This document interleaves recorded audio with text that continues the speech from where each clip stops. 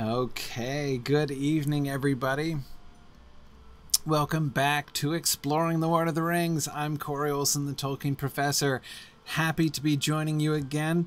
Uh, so, you know, we were able to do our class last week, and I did not uh, suspect at the time, of course, that that would be like the last class I would do all week last week, uh, as I ended up catching the flu, and it was a little bit awful for the whole second half of last week. So, uh, I'm glad to be back this week. I have to say, after uh, finally, you know, feeling better and uh, catching up on sleep and everything over the weekend.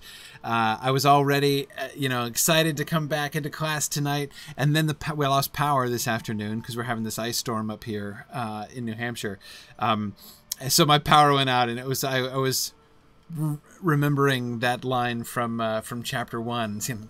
And then I lost power. Anxiety was intense, but then finally, so our our power did come back, and. Um, and we're all set now. So uh, I am, uh, as I say, very glad to be uh, uh to be back with everybody. So tonight. Uh, we are going to uh, go into Bree. We have two passages left in chapter 8, but they're, of course, the passages that are the transition into looking towards Bree here.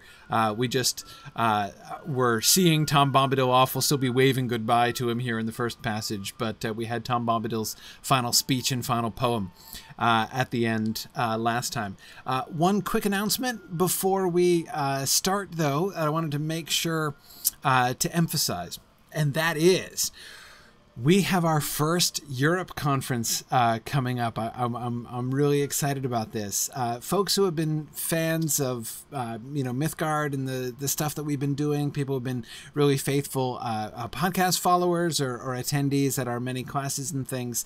Um, uh, from Europe have been a very long suffering bunch, I have to say. I know that my own personal time schedule, you know, I always have to schedule my classes around my family, which generally means that we're at this time of night. You know, 9:30 p.m. has been my time for years now that I've been doing stuff.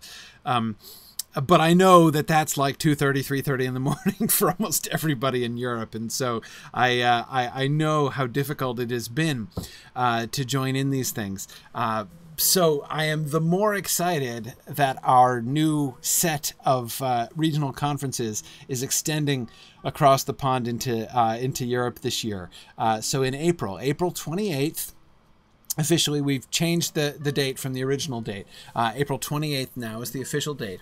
Um, we are going to be uh, headed over to England uh, for Brit Moot or London Moot, uh, which I am super excited about. So I'm looking forward to being able to come over there and uh, uh, interact with a bunch of you in you know times which are natural to you. Now I know I'm saying this at three o'clock in the morning for almost everybody uh, in Europe over there. Uh, but I get just to kind of start spreading the word for uh, for folks who are. Uh, who are who are over there? Uh, people who are who are going to be listening or watching this uh, asynchronously. I hope that you will be able to to to come join us. So, anyway, it's gonna be it's gonna be great fun. So again, April 28th in London. Um, you can go to londonmoot.com or you can uh, go. There's uh, links to the uh, to the to the event page on signumuniversity.org as well. You can look down and see the see the links to London Moot. So. Um, should be uh, uh, should be should be really cool. I'm I'm I'm very excited about it. All right let us speaking about things i'm excited about let let us get to Bree here okay uh, so tonight's class called Welcome to Bree because we're going to be focusing primarily on all of the sort of prefatory material we get. Uh, Tolkien's uh, opening to chapter 9 uh, is really interesting. It's really unusual. Um, very rarely does he pause the narrative for this long, especially at the opening of a chapter like this, uh, to give us this kind of long background history. We get a lot of background uh, about Bree. So I want to be looking at what we're getting and uh, uh, and see you know kind of where Tolkien is positioning us in relationship to Bree. We, we were talking last time about crossing boundaries, right? We're looking at, of course, crossing the boundary between Cardolan and Arthedain, right? Which was which was a big deal when they crossed it, and Tom remembered something sad about it. Um, but I was also talking in how, in sort of a, a bigger sense, this is a, a really interesting an important transition point for the narrative, right? We had the you know the the time of adventure descending upon the Shire, where you know the adventurous world breaks in on Frodo, like uh, in Bag End, right, like it did on Bilbo at the be- at the beginning of The Hobbit, though of course with different significance, right, and in different ways. But um, but in both cases, you know, you had sort of adventure invading the Shire, right? Though the invasion was a little bit more thorough and a little bit more aggressive, obviously, right, in the, in the Lord of the Rings. And so we had this whole segment of the crossing of the Shire, this sort of walking holiday, which turns into a much more serious adventure, leading then to this uh, set of three chapters that we've been studying now for many months. Uh, with Tom Bombadil as the centerpiece of those three chapters, right? The House of Tom Bombadil flanked by the uh, Old Forest chapter and the Barrow Downs chapter. Um, so that so you know we have had really sort of one section, right, which was the first uh, four chapters, first five chapters, really, um, through the conspiracy unmasked, the Shire bit, and now we've had these three chapters of adventures, right? Their first real adventures. Think about um, the line. Well, I say think about it. We haven't gotten there yet, right? But when uh, when they get to the to Bilbo's trolls. Uh, Frodo is going to, or the narrator is going to recall that incident as Bilbo's first successful adventure, right? Obviously, Frodo uh, and his companions have their first adventure. We can decide amongst ourselves whether we think it was successful or not, right? Um, they have their first adventure long before, geographically, long before Bilbo had his first adventure. Um, but that first sort of period of adventure, the greater Tom Bombadil region, is now done. And passing into Bree, we're really beginning a, a whole new segment. And so it's at this moment that Tolkien is going to back up and say, okay, here's where we're here's where we're going. This is a brand new world that we're entering into, right? Not just the world of dark adventure, right? The old forest where, you know, like Fatty Bulger's nurse told crazy stories about, and there are, you know, whispered legends about the Barrow Downs and stuff like that. Uh, no, this is a different kind of border that we're crossing here, right? A different kind of land um, that we are um, uh, that we are heading to. Um, and so again, this is why I find it so interesting the sort of the angle that Tolkien takes in preparing us for that. But first, the end of chapter eight. Then he turned back. He, of course, being Tom Bombadil, right? Then he turned, tossed up his hat, leaped on Lumpkin's back, and rode up over the bank and away singing into the dusk. The hobbits climbed up and watched him until he was out of sight. I am sorry to take leave of Master Bombadil, said Sam. He's a caution and no mistake. I reckon we may go a good deal further and see naught better, nor queerer. But I won't deny I'll be glad to see this prancing pony he spoke of. I hope it'll be like the Green Dragon away back home. What sort of folk are they in Bree? You know something I never thought about before? Tom uh, Sam's calling Tom Bombadil Master Bombadil. Why Master? I mean, on the one hand, it seems obvious, right? Uh, you know, Tom Bombadil is Master. We've been over that several times, right? And so, in that way, it's a it's a completely appropriate title, and yet it seems totally counterculturally applied. Do you see what I mean? Um, that is to say, oh, okay, sorry, did my audio blink? Sorry about that. Uh, not sure why that happened. Um, anyway, uh, uh, okay. You heard counterculturally applied, JJ. Thank you for that uh, specific detail. On the one hand, calling him master, calling him Master Bombadil, seems totally sensible. He's the master right? What else would you call him if not the master? And yet, Master Bombadil is a very specific within their culture, it's a very specific title. It has very specific meaning. And the specific meaning that master has when you call somebody by their last name with the word master in front of it seems to me almost comically inappropriate to Tom Bombadil, right? Um, you remember when we saw this with Farmer Maggot, right? Remember when Farmer Maggot met uh, Pippin, right, and recognized him, and he says, "Young Master Pippin, excuse me, Mister Peregrine Took, I should say." Remember how he corrects himself, right? Master is what you say to kids. Exactly. It's for little boys, Veronica. Um, now, little boys of a certain class, right? Uh, uh, uh, aristocratic little boys. You call them the young master, right? Um, so I mean, Pippin was Master Pippin to Farmer Maggot because he's in the Took family, right? Uh, Sam is not Master Gamgee, right? It doesn't sound like he ever was Master Gamgee. Um, now, Catriona, you're right. Sam does call Frodo Master Frodo, and that is a different usage of it, right? He calls uh, he calls Frodo his master, right? Because he's the servant and Frodo is his master, right? And he calls him Master Frodo, though, not Master Baggins. He would never call him Master Baggins. Never, Sam never, ever, ever calls Frodo Master Baggins, right? Because that is the is the diminutive title, right? Um, so, uh, uh, anyway, um, yeah, I don't know.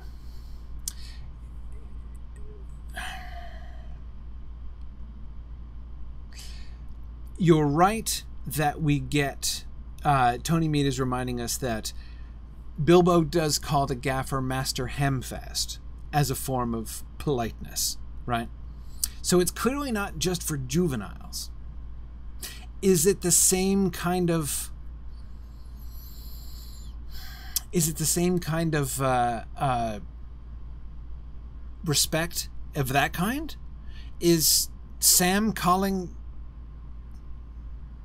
Tom Bombadil Master Bombadil parallel to Bilbo calling the gaffer Master Hamfast?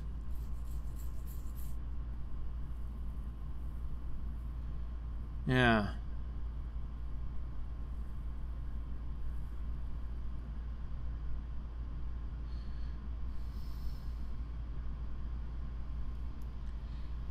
Yeah, yeah. Um,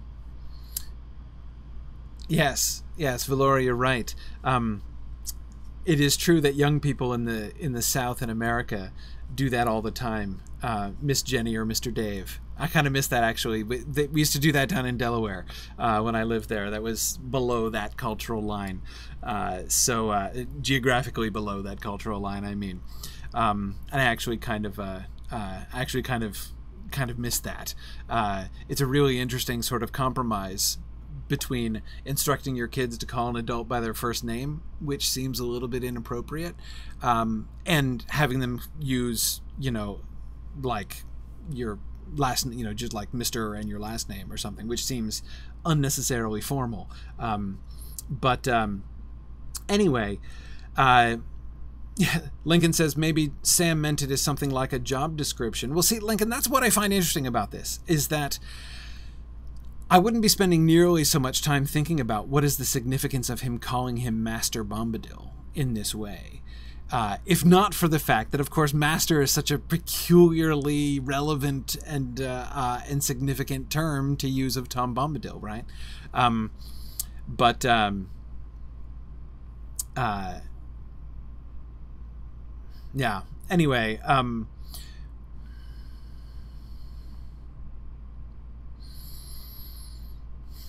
yeah. Well, it's all kind of a tangle to me, figuring out Master. I had forgotten Master Hamfast. That's the one that I'm that I'm that I'm thinking about here because I had forgotten that one. That's a really that's a really interesting point. Um,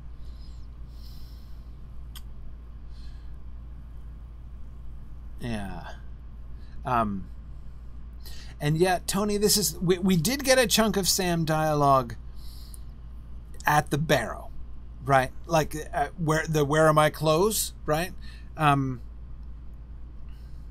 yeah, yeah. Um,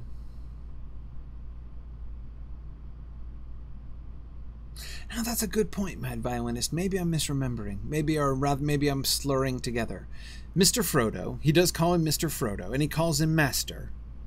Does he ever call him Master Frodo? Maybe I'm combining those two things in my head. That seems quite likely. Yeah, Mr. Frodo and Master. Master is his title, right? When he's not referring to him by name, he's going to call him Master. Mr. Frodo is like he's a Mister because he's a landowner, right? Um, and he's calling him Mr. Frodo because he's not Mr. Baggins. He, they're on two intimate terms for him to call him Mr. Baggins. And anyway, he, he there's like old Mr. Bil Mr. Bilbo and Mr. Frodo to differentiate the two Mr. Bagginses. Um Yeah. Yeah. And you're right, Mad Violinist, there are very few examples of times when Sam just calls him Frodo. And when he does, that would seem to be very significant, right? If he when he when he just calls him Frodo. Um, sometimes we'll even call him Mr. Frodo, sir, right? Um, yeah. Anyway, yeah, so so back to Master Bombadil. Is it possible? Tony is suggesting maybe, um, maybe he's um, Sam is not being consistent about his formalities. Um, which is possible. But I don't know. Um, well, Crystal, he could call him Mr. Bombadil.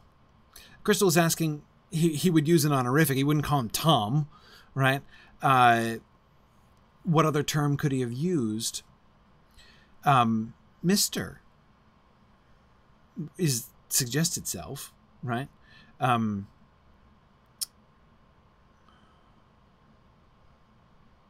yeah, I mean, and he seems to be using Bombadil as if it were his surname, right? It's, which especially seems likely since um, that it's at least going to sort of seem that. I mean, it's not that Tom Bombadil has a family name exactly, right? Like he, you know, he's uh, Tom Bombadil of the Old Forest Bombadils, right? Descended from a long line of Bombadils. So of course, Bombadil isn't his surname in the same way that uh, you know doesn't mean the same thing that a Hobbit surname does, and yet his first name Tom is such a common Hobbit name that it certainly has all of the form and it deliberately appears to have the form of first name surname.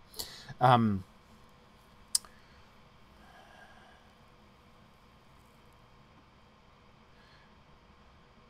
yeah. Maybe it is just an acknowledgement of Tom being the master Irindis. Maybe he that's one. see that's when I think I'm that's what I think Irindis I'm kind of coming back to, right? Let me let me um let me just say that plainly, right? Here's what I would like this passage to mean, but I, am always careful about this. Like I, I, I fight very hard because when I when I acknowledge in myself a desire to read a passage in a particular way, I'm always a little skeptical, right? Uh, but um, what I would like that to be is Tom base or Sam basically rendering into a title, like acknowledging you know, Tom Bombadil is master, right? Sam has sort of processed that. And so he does want to use some honorific, and so he chooses uh, to use, um, he chooses to call him master, right? Because Tom is the master, right? So he's just sort of acknowledging that and using it in a form which is like the form for normal, you know, forms of address in the Shire, but deviating from those forms uh, because it's Tom Bombadil, right? You know, he's so he's not just sort of squeezing Tom Bombadil into the social hierarchy of the Shire, right? Um, but rather that he's that he's sort of though staying within that basic form is deviating from it. That's kind of what what I hope to be true of this, but I'm not 100% convinced that that's actually correct.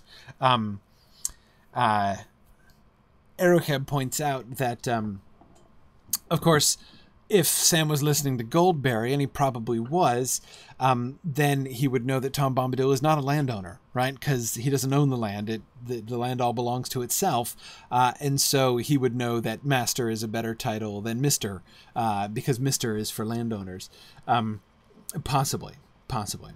Um, yeah, Kyle is suggesting that uh, this could be Sam's reaction to enchantment. He sees Tom Bombadil as the master through his experience in enchantment, and then he moves on uh, uh, uh to you know wanting to go back to the safety of the the the prancing pony uh, as well. Um, Fourth Dauntless, we'll have to pay attention and look. I mean, if somebody wants to look it up, they can. Um, Sam using the title master for anyone else. Uh, again, he calls Frodo master. Does he ever apply it in this way? Do we ever get a master somebody? Um, does he call anyone else master as a you know a kind of honorific in this in this way? Um, that's uh, that's a really great question, um, and I can't. I'm I'm not sure I can remember right offhand. Obviously, I'm forgetting all kinds of things here tonight. Um, so uh, yeah, yeah. Um, I I can't remember. I can't remember hearing Sam refer to Elrond. Master Elrond's, yeah, yeah. That was because I mean, clearly, again, he's not just going to call him Elrond, right? Sam would never do that. Sam would never be like, "Oh, as Elrond said," right? You know, Elrond, my buddy, right? He and I were first first name basis. Sam doesn't doesn't act like that. Um, yeah, yeah. Um, yeah.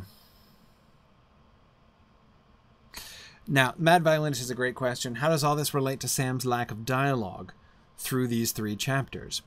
Um, uh, and he tends to read this as the sort of reserve you give someone who is uncanny uh, and whom you don't entirely trust. Um, so that Sam has been kind of untrusting, right? We last really had a conversation with Sam uh, at Old Man Willow. We don't hear a peep out of Sam. He doesn't even dream, right? We don't even get his dreams. He's the only one who doesn't dream. We don't get a peep out of Sam during the entire time that they're in the house of Elrond. Or Elrond. They're in the t- house of Tom Bombadil. Um, and I think that that's really interesting. But I don't know exactly what to make of it. Um, Sam longed for elves, right? Um, uh, yeah, yeah. Um, uh, Sam longs for elves, right?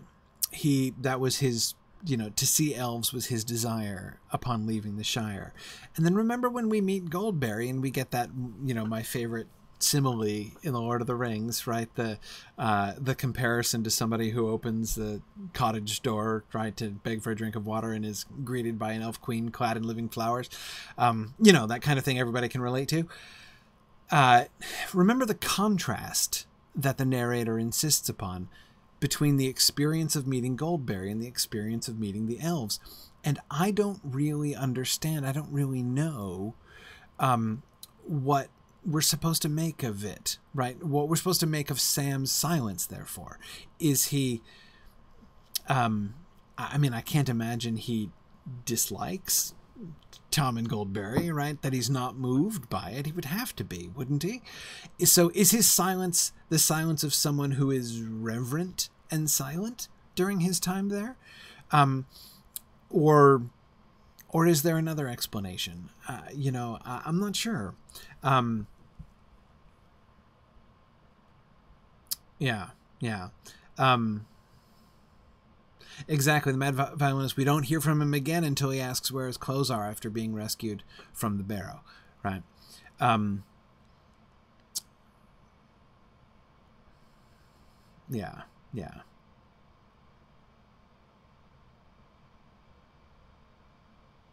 Um, yeah, Mad Violinist, I agree that the, the language around that simile, I, it's it's not. The, I, I don't think that they. Um, yeah, that doesn't sound like a Sam simile, right? Exactly. I don't know, maybe. Uh, JJ thinks they're a bit above his likes and dislikes, but we don't even get that from him, JJ, right? We don't get any reaction like that from Sam. Um, Tony thinks uh, Tony thinks that it's awe. It's likely to be awe. Um, okay. All right. Um, they're a bit a bit above his responses and non-responses. Uh, yeah, yeah. Um, okay. All right. Hang on a second. I gotta go back because several of you are, are, frantically researching uses of the of the term master throughout. So, so let's go back to that for a second. Um, Matt was finding a whole bunch of really you know, really important references that I, that I think are really good. Eric I like the fact that Merry is called Master Bag. That that's a good one, right? Um, uh, Elfhelm calls him Master Bag. Pack yourself up, Master Bag, right? Um, but see, that's probably diminutive form, I would think, most likely. But anyway.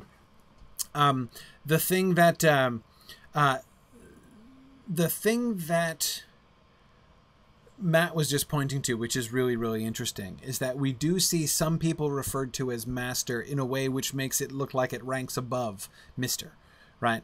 Um, uh, Old Master Gorbadoc is what the one that I found most interesting, uh, Matt, of the examples that you give. Also, the fact that Theoden and others will refer to, Ga- to Gandalf as Master Gandalf, right? Uh, Treebeard does too, right?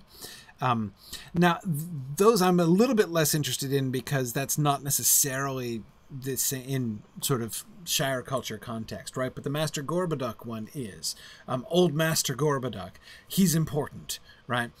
Um, and so it does seem in that sense that he's i mean he he's he's he's not just he's not just mister right? He's not just mr gorbadoc uh, he's above mister. And so is called master.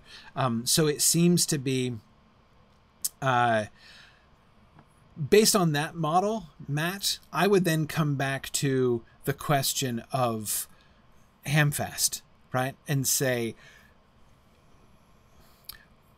wherein does the politeness lie, right? Um, Bilbo calls him Master Hamfast, right? What does that suggest? What does that imply? How is he being polite to him? Um, and I would think, now, he wouldn't call him Mr. Gamgee, right? Because to say that would be to say something that's simply untrue. He's not a landowner, right? Um, and especially since he, Hamfast Gamgee, is apparently Bilbo's tenant, right? It would seem uh, like particularly not polite, actually, right? Almost mocking, even uh, to to call one of your own tenants. Uh, speak to one of your own tenants as if you were pretending he was a landowner, right? That would be just kind of weird. But um, the but calling him Master Hamfast is putting him in the Master Gorbadoc category, which seems to be one of like general. Like you are, he he is referring to him as. Um, uh, exactly, Marianne. He considers him an expert on potatoes, right? He is he is uh, uh, venerable because he's old, right? Uh, so he is venerable, uh, and he is the the head of his family, right? The Gamgee family. The Gamgee family are lower class family. They're not landholding family, but but he's you know that he has children and grandchildren presumably already, and uh, you know Sam has a couple. He's the youngest sibling, uh, or the youngest brother anyway. Uh, he's got two older brothers who probably have kids. Um, and uh, yeah, so he, he's the head of Clan Gamgee, uh, and he's he's old and venerable and wise, right, in his own sphere and everything. Uh, so I think it's I think that the kind of respect that he's showing them is that by calling him Master Hamfast, he seems to be treating him as, you know, someone who is. Uh, Bilbo is treating him as somebody who is someone who is at least his own peer, right? Not economically in that way, right? Not not not strictly in terms of class, but just in terms of somebody who is worthy of respect, right? Um, and uh, so because the Master Gorbadoc thing would work well that way. So in that sense, Master is kind of at the top and the bottom, right? It's what they call the kids, but it's also what they call the sort of the highest uh, level. But the interesting there is that it's Master and then first name, right? he's, he's he doesn't call him he calls him Master Hamfast. He doesn't call him Master Gamgee, right? Nor does the narrator refer to old Master Brandybuck, right? It's old Master Gorbadoc. Um, so that still means that Master Bombadil is a different pattern. Do we see that pattern anywhere? Is there anywhere else that we see the pattern of Master and the last name? Right? Um, yeah, yeah. Um,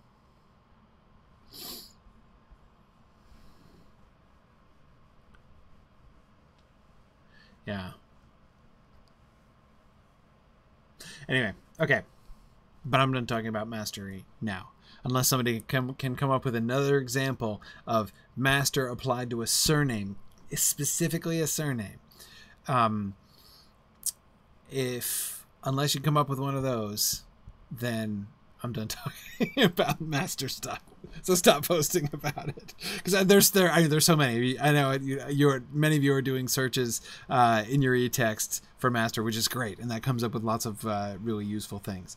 Um, but uh, ah, thank you, thank you, Aragorn, Master Underhill. Yes, good. Matt was just saying that too. Okay, Tom is gonna or Butterbur rather is gonna call Frodo Master Underhill. Okay, there it is. Okay. So does that mean it's a familiarity thing then? See, no, no, no, not Master of the Hall, Kyle. That's a ti- That's a that's a that's a title, right? That's like mayor. That's that's. I'm not interested in that. That's a different thing. Um, and does somebody say Master Butterbur? Maybe, but Master Underhill. Okay, right. So that suggests that familiarity is a factor, right? Um, because Butterbur's just meeting him, right? So he's not going to call him by his first name. In fact, Frodo didn't even give his first name, right? He just calls himself Mr. Underhill. Um, the Mister is how he introduces himself, right? So when Butterbur upgrades that to Master Underhill, that is presumably a sign of respect, therefore? I'm thinking, right? Um, Oh, good. Thank you, Harnuth. Very good. Uh, uh, kind Master Fernie. Yes, good. We'll get that as well with Bill Fernie. Um, and that is clearly sarcastic, right? Uh, an afterthought of kind Master Fernie. Uh, so that that's a sarcastic use of the honorific in that way. Yeah, yeah. Um, yeah. And uh, yeah, Aragorn, I think that uh, Sam calling Ted Sandyman Master Sandyman would similarly be. Actually, that's a doubly biting thing, right? As he knows Ted Sandyman very well. Uh, and so to refer to him just by his last name like that, um, uh, that is, he's not unfamiliar to him at all. Um, but also not worthy of respect. So I would think that there's a double sarcasm there. Yeah. Yeah. Oh, yeah, Harnath, I know that was Strider. Did I misspeak there? I I, I knew that was Strider saying Kind Master Fernie. Um, yeah. Um, yeah. Tony, I agree. This would be a great paper topic, wouldn't it? Looking at the different uses of master and thinking about the significance of that, uh, thinking about uh, the, the the question of what it means to be master, right? Which was raised, of course, uh, so uh, so intriguingly, so forcefully uh, in the Bombadil chapters, and then thinking about expanding that out through and looking at who is called master, both as a title in that way, right? Master something or other. People who are just called master by themselves, right? People who have the title master, like Master of the Hall, um, all kinds of things. And again, just sort of think about what are the different significances of that and and emphasis of that. Oh, quick, that might be a master's thesis, but probably not. Uh, probably not quite enough there. but I but I like the idea. Uh, anyway, all right. Oh yes. Um, Pontin, right, and the Master Ring, of course, is lurking behind all of this stuff too, right? That other idea of mastery, uh, which is so central, right, to the uh, uh, to the whole story. Okay, good. Now, totally and officially done talking about uh, master stuff. Uh, so let's get on to Sam's second sentence, uh, which Karita has been wanting to talk about for a while. He's a caution and no mistake. Um, this is a great phrase. Uh, what exactly does it mean? He's a caution and no mistake. What does Sam mean by that?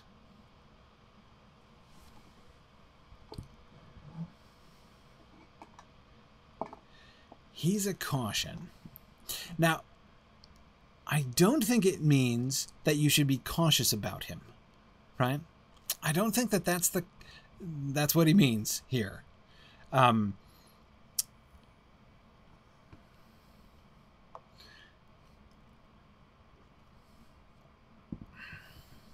a real character, Lincoln. Yes. Yes, a real character. Uh, that seems to me to be getting at the point. Um, uh, he's a wonder. Yeah, something like that. Um, yes, Tony says meeting Tom has shown him how strange the world outside the Shire might be. Um, yeah, that's the kind of uh, that's the kind of thing exactly. Um, so like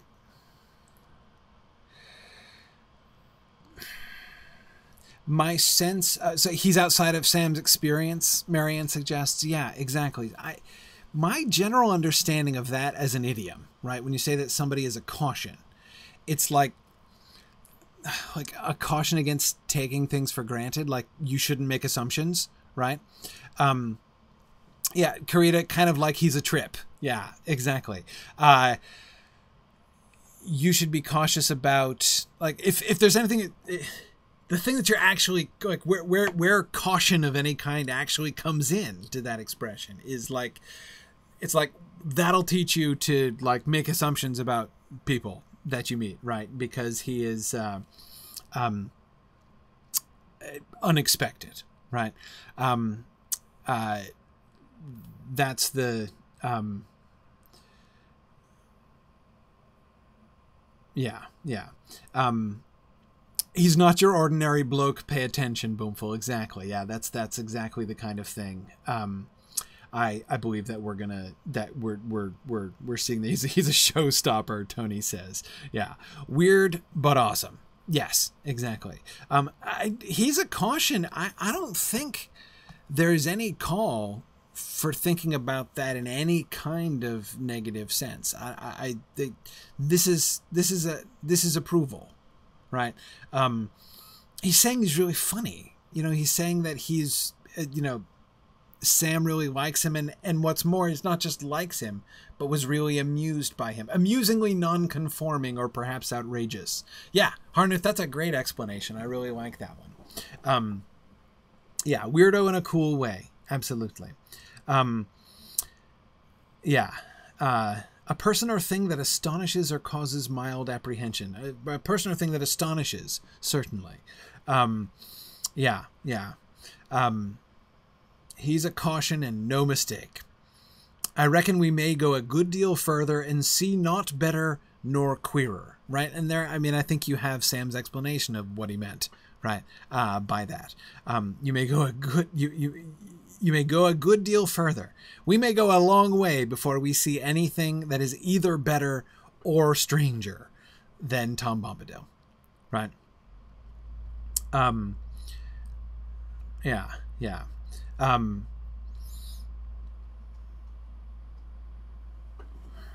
Yeah, good. Um and I like the fact I'm I, I like the fact that Sam emphasizes um, both that will see not better nor queerer. Right? He acknowledges that not only is Tom Bombadil good, he's extraordinarily good. Right? We, we we might go a long way before we see anything better than Tom Bombadil. And I don't think he means better in the sense of like more noteworthy, right? Better in like a tourist sense. Um, a more remarkable thing to see. I, I don't think that. I think he means better. Like he's good, right? Um, yeah, but um, uh, but he is as queer as he is good, right? He is as strange as he is good. Um, yeah, yeah. Um, yeah, and Tony, yeah, the names of inns are um, uh, the names of inns are, are like the names of ships right. In, in fact sometimes they're quite similar. Uh, but uh, yeah the names of inns are like the names of ships. Uh, so yeah they're they're they're they are they are official. They are you would you would italicize or underline them generally. Um yeah good. Um but i like his transition there but i won't deny that i'll be glad to see this prancing pony he spoke of. Right? Uh, but i won't deny meaning I so I have to admit that what he's really so I mean the transition in his thought there uh, is really interesting, right? He's really enjoyed their time with Tom Bombadil. He thinks he's awesome, weird but awesome, right? Awesome and weird. But I won't deny I'll be glad to see this prancing pony. Right? Why does he start that sentence with but? Why not and? Right? Well, Tom Bombadil was great, and I'm looking forward to the Prancing Pony now too. Right? The fact that he says but suggests that he's thinking about the transition from the Tom Bombadil world into the re- returning to the normal world. Exactly, Boomful. He's he's he's going back to, um, he's going back to the the normal. It, and he won't deny he's going to be kind of glad to go back to the normal world, right? It's been great hanging out in Tom Bombadil's world, right? Really interesting at the beginning and the end, uh, but uh, you know, anyway, Tom Bombadil's been awesome, but you know, a nice pub like the Green Dragon sounds like just the thing right now. I'm not gonna, I'm not gonna lie, right? I think that a bit of normal pub time sounds really good yeah a return to normalcy seems to be something that he is confessing that he's really longing for right um yeah yeah um yeah um Stephanie, I think when he transitions from hoping that the prancing pony will be like the green dragon, right? That that again that, that clearly shows his desire for something normal again, right after the very strange adventures in the forest in the Barrow Downs, and in the House of Tom Bombadil for that matter. Um, but uh, exactly, Karita, he wants something nice and normal, preferably with beer. Um, so his final question there, Stephanie, what sort of folk are they in Bree, is a little bit um, uncertain, anxious, right? it, it is. It is going to be comparatively normal, right? We're not going into another totally strange alien world now, are they? Right? Uh, what sort of folk are they in, Bree? And then we get, hey, second slide. We're going to get to the end of the chapter. We're totally going to do it. We're not going to get to Harry Goatleaf, but that's okay. There are hobbits in Bree, said Merry, as well as big folk. I dare say it will be homelike enough. The pony is a good inn by all accounts. My people ride out there now and then. Now and again, sorry. It may be all we could wish, said Frodo, but it is outside the Shire all the same. Don't make yourselves too much at home. Please remember, all of you, that the name of Baggins must not be mentioned. I am Mr. Underhill, if any name must be given. They now mounted their ponies and rode off silently into the evening. Darkness came down quickly as they plodded slowly downhill and up again until at last they saw lights twinkling some distance ahead. Before them rose Bree Hill, barring the way, a dark mass against misty stars, and under its western flank nestled a large village. Towards it they now hurried, desiring only to find a fire and a door between them and the night. Okay. Um. Yeah, yeah. Merry's emphasis, right? I love Merry's answer to Sam's question is very politic, right? Um, Bree, of course, is primarily a city of big folk, right? Uh, it is not really home-like exactly, right? This is a strange land compared to the Shire. Um, they're coming into the land of men for the first time, but there are hobbits there, right? That Bree is a joint community of the big and the little folk. Uh, and Merry emphasizes that very tactfully. I think there are hobbits in Bree, as well as big folk, right? Um, uh, so yes, so let's let's front end the familiar for Sam, right? Um, and yeah, uh, Karita, I, I too like that emphasis. I dare say it will be home-like enough. It's not actually going to be home-like. It's not going to be exactly like home, but it'll be home-like enough to be okay, right? I agree that's a significant enough there, uh, Karita. Um, yeah. Um, yeah, Lady Shmabiwak is asking why the name Underhill. Um, oh, good. Lincoln points out that Crickhollow was barely home-like for Sam, right? It was... But Lincoln, actually, this is a really interesting contrast, right? crossing the Brandywine was a big deal. Sam had never been across the Brandywine. He felt like, remember, there's that moment when he's looking back across the water on the ferry and he's feeling like he's leaving the whole world that he's ever known behind, right, and going into this strange and foreign land. And yet, when he gets there, Buckland is not actually all that much different, right? Folks lock their doors at night, which is a little strange, and they uh, occasionally have been known in theory to use boats on the river. Not that Sam ever sees anybody using any apart from the ferry, um, but. Um, but that's exactly the point, right, Lincoln? So he gets there and he feels like he's in strange, you know, folk are queer over there in Buckland, right? And yet he there's he's not actually seen any evidence of that strangeness. It's not actually weird compared to it's in fact quite homelike, uh, which is emphasized in particular about Crickhollow right? And how uh, all of uh, Frodo stuff from Bag End, right, has been laid out to make Crickhollow look as much like Bag End as possible, and it feels very welcoming. Uh, and uh, anyway, there we have, uh, you know, and, and there there they arrive, and so yeah, it's different for Sam, but it's it's nothing compared to the difference really that he's about to uh, that he's about to experience but back to the um, back to the Underhill question, which is a good question.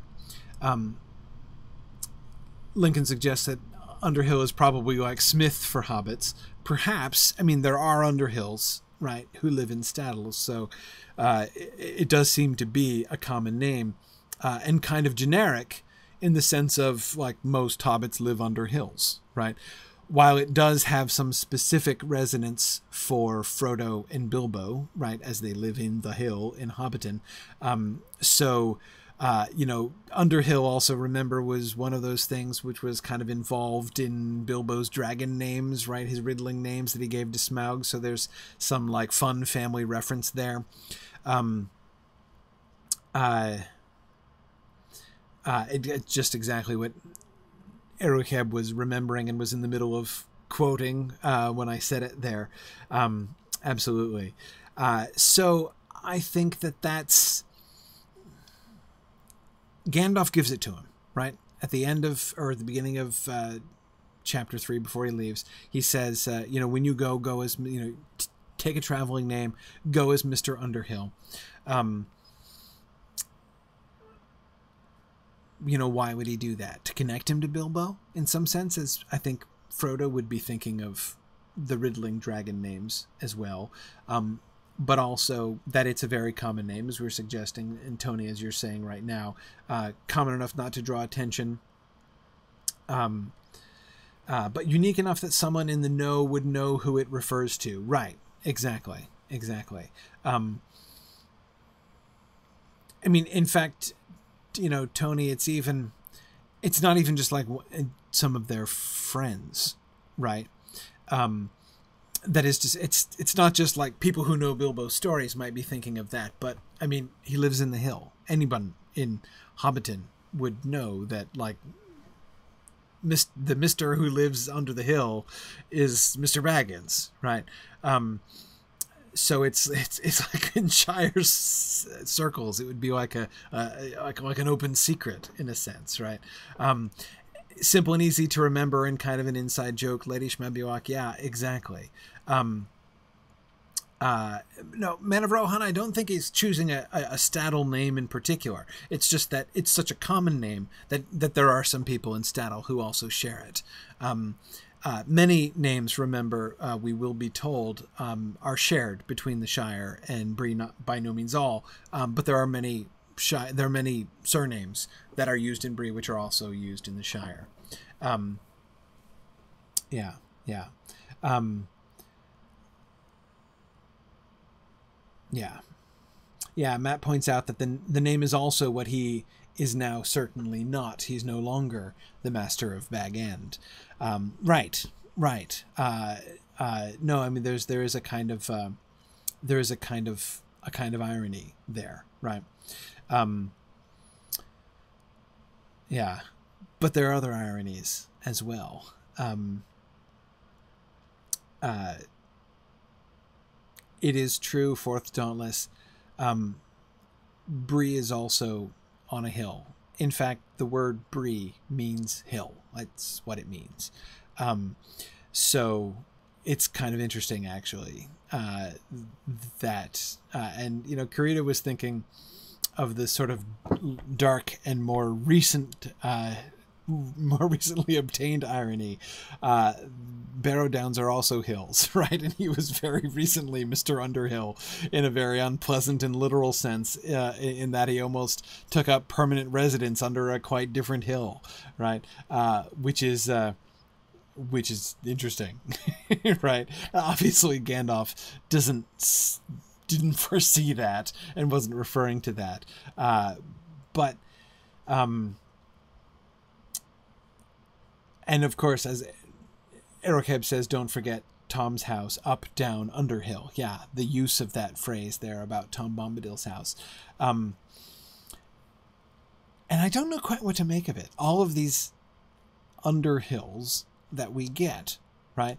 Under the hill where Bag End is, and then Tom's house, up, down, Underhill, and then Karita, as you point out, uh, being inside a barrow right? And uh, uh, almost buried alive, well, semi alive, undead, under the hill. Um, uh, and then, of course, we're in Bree, which is hill, right? Which means hill. Um, and uh, we've got like the Underhills who live under the hill. They're in Staddle, right? Just on the other side of the hill. Uh, uh, under is in the sense of at the foot of the hill. Um, so, um, yeah, anyway, uh, and then, it, yeah, both Matt and JJ are thinking of parallels with uh, uh, uh, with Gollum liking to be under hills and at the roots of mountains and things. Um, yeah, yeah. So, I don't know. I don't know what to do with this. We're at the stage where I'm ready to say, kind of looking like there's a pattern here, doesn't there? Right? We have all these hills. Um, but I'm not sure what to do with it yet. And one of the important things, and I know this is extremely difficult in this class in particular. One of the downsides of going as slowly as we go in this class is it's so hard to be patient, right? Because you can't draw safe conclusions until you get uh, uh, until you get the the big picture, right? Until you see that you know so like for instance in the hobbit um the fact that bilbo is from the hill and going to the mountain right? Um the whole there and back again journey about how his he's setting out on the quest for the lonely mountain right? But of course this journey is there and back again. So the real destination of his quest is not the mountain it's the hill right? It's the return home. That's ultimately the end that whole pattern, right, of hill and mountain and, and the relationship between the two of them and how they play off each other, that pattern doesn't really come clear until much later in the book. In fact, the moment that for me really kind of crystallizes it is the moment in chapter 11 when Bilbo is sitting on the doorstep on the mountain looking back towards the hill, right? And that that sense you know that that you know when bilbo thinking back to bilbo sitting on his own doorstep right smoking in chapter one, the sort of the parallel of these two scenes and the way that that moment in Bilbo's own reflections, especially as he's thinking of Gandalf coming along as Gandalf came along back in chapter one. The way that that scene kind of forces us to kind of juxtapose the hill and the mountain against each other like that really kind of makes the whole hill mountain thing really finally sort of come into uh, uh, come into focus at that point, right? Um, and so one of the things that I'm going to be continuously doing here is pushing it off, right? Saying let's let's keep let's keep gathering data. And this is one that I really want to keep gathering data on because we have many more hills yet to climb, right? And many more hills yet to come under. Uh, and the idea of Frodo being Mr. Underhill and that being there being some significance to Mr. Underhill. I don't think we're going to feel the whole significance of it yet for some time. Um, so I have that, I don't know, instinct which tells me it's not time to draw a conclusion about that yet. So I'm going to not draw a conclusion about that. But I, what I will say, again, we can see the pattern, um, but we can already see that the pattern points in a couple different ways at once, right? Some of the hills under which Frodo is, or under which Frodo gets, are dangerous, bad places, right? Like the Barrow Downs, right? Some of them are good places, like Bag End and the House of Tom Bombadil, right? Up, down, Underhill. Remember how much time we spent wrestling with that phrase, right? How strange that sounds, how oddly that comes across. It sounds like a formula, right? Um, and I'm not sure in the end if it's may not merely to introduce the phrase Underhill without having a, a an article in between, right? Without saying under the hill. Um, just having the phrase Underhill in the prose, right? There it is. Up, down, Underhill. Um, it may well be. We couldn't come up with a good rationale or good explanation of it before. It may well be that's why, right? Uh, it certainly is very noticeable that that is one of the only places where we get that phrase literally and exactly uh, in that same way. Um, yeah, yeah. Um, okay, cool. Um,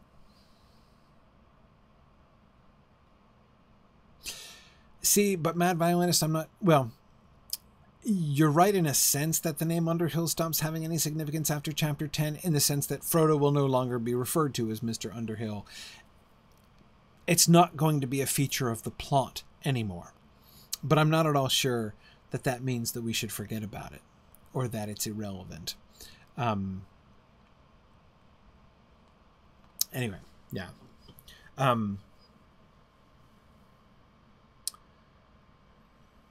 yeah yeah okay okay um Kimber, that's a great observation. Kimber says that he likes the way that uh, Tolkien's imagery emphasizes that Bree both feels welcoming and menacing. Kimber, this is one of the things I was really noticing about Bree too. That that kind of um, two-dimensional element of Bree, right? Um, both welcoming and menacing, both open and closed, both big and little. Right? We see, um, uh, we see both of these things about Bree. So Kimber was saying. Uh, there, there are the twinkling lights in the dark, but also the looming dark outline of the hill itself. Um, and so uh, Kimber was saying that we can see this sort of reflecting the dialogue of the hobbits, both the hoping that it will be home-like, but of course, as Karita points out, only just home-like enough, right? Not not the same as home by any means. Um, yeah, the lights twinkling some distance ahead is comforting, right? That's a promising sight. But then, Kimber, as you say, before them rose Bree Hill, barring the way, a dark mass against misty stars. It's a little more ominous. It's a little more scary right? Not quite like the, like you get the sense this hill is bigger than most of the hills at home, right? Probably significantly bigger than the hill on which Bag End uh, is uh, is built. Um, and uh, yeah, good, Erokheb. I agree that the fact that uh, though the village is nestled under the western flank of the hill seems like a good sign after the Barrow Downs. Right now, that was a Barrow Downs thing. It's not like it's always true of everything that you should never be on the eastern side of a hill anywhere. But but I agree. Having just come from the Barrow Downs, it's a little reassuring that the uh, uh, that the village seems to be built on the on the on the west side of a hill. Uh, towards it they now hurried, desiring only to find a fire and a door between them and the night. You ready? Chapter 9! Woohoo! And now we modulate into tourist guide voice, right? Bree was the chief village of the Breeland, a small inhabited region, like an island in the empty lands round about. Besides Bree itself, there was Staddle on the other side of the hill, Combe in a deep valley a little further eastward, and Archet on the edge of the Chetwood. Lying round Bree Hill and the villages was a small country of fields and tamed woodland only a few miles broad. The men of Bree were brown haired, broad and rather short, cheerful and independent. They belonged to nobody but themselves, but they were more friendly and familiar with hobbits, dwarves, elves, and other inhabitants of the world about them than was, or is, usual with big people.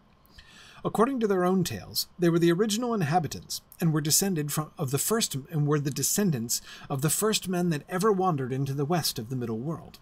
Few had survived the turmoils of the elder days, but when the kings returned again over the great sea, they had found the Bree men still there, and they were still there now, when the memory of the old kings had faded into the grass. Okay. Um, first paragraph first the description. Like an island in the empty lands round about, the first thing that's emphasized about Bree is that it is the chief village of the Breeland, right? But lest we think of this as like a, a wide and spacious, cultivated, friendly countryside that they're entering into, right?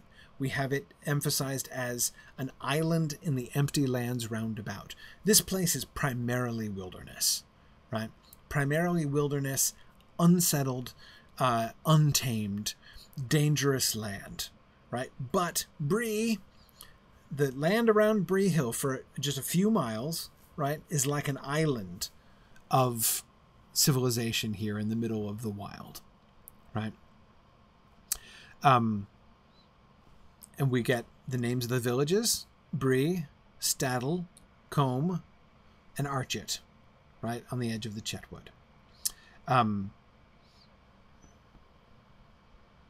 yeah, yeah. Um, well, no, for Thos, I don't think he's calling the Shire the empty land about Breeland, right? Remember, there's quite a bit of land uh, that they've skipped along the way. It would have been, I mean, it's a day's journey um, so there are many miles of empty land between Buckland and Bree.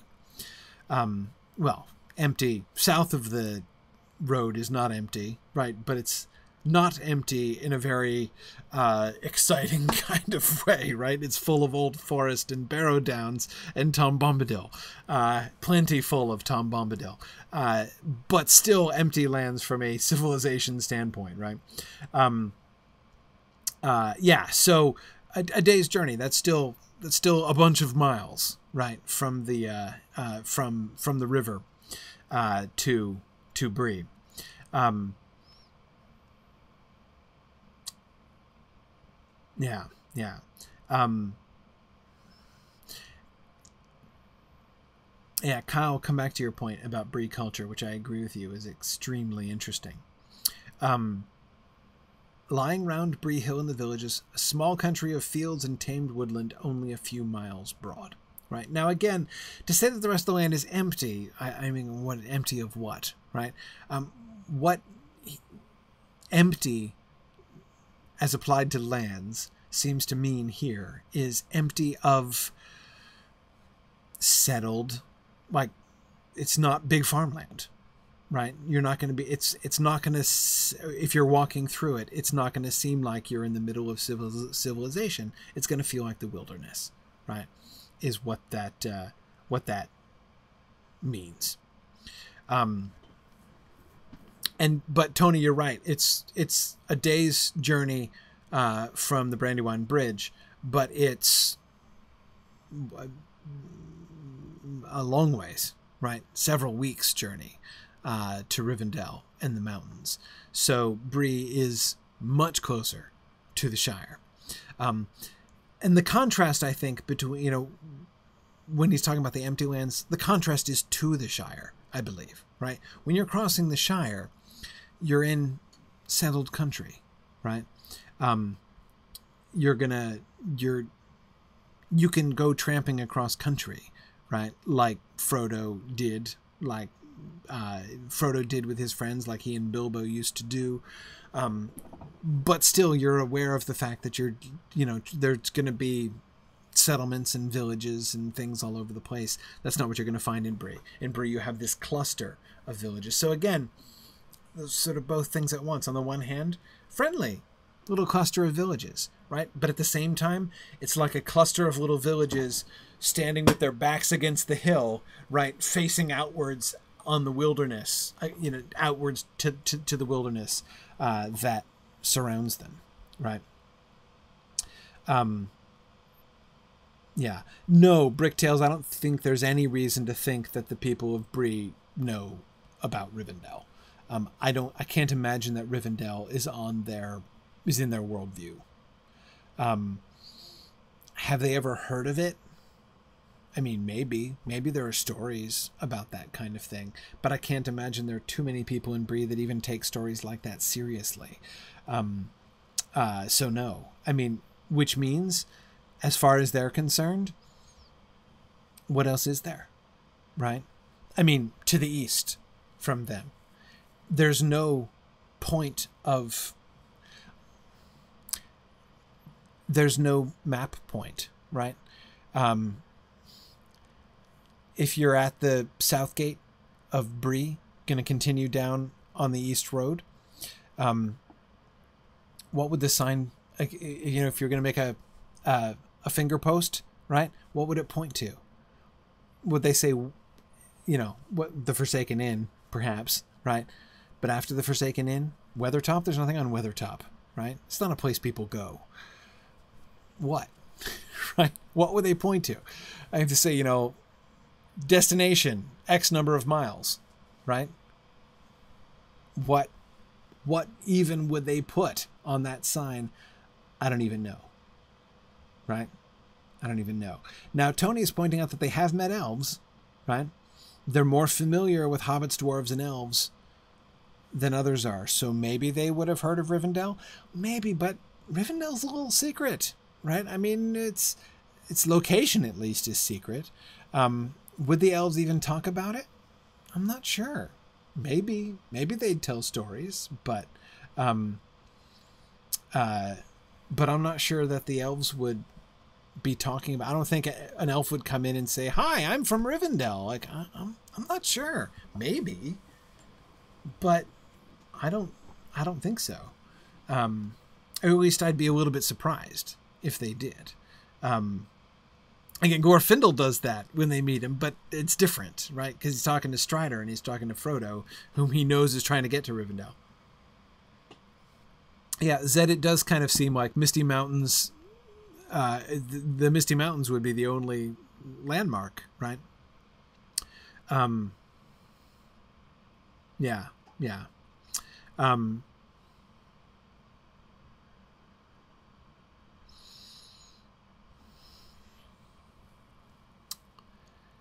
Okay. Oh, Tony, what a great question.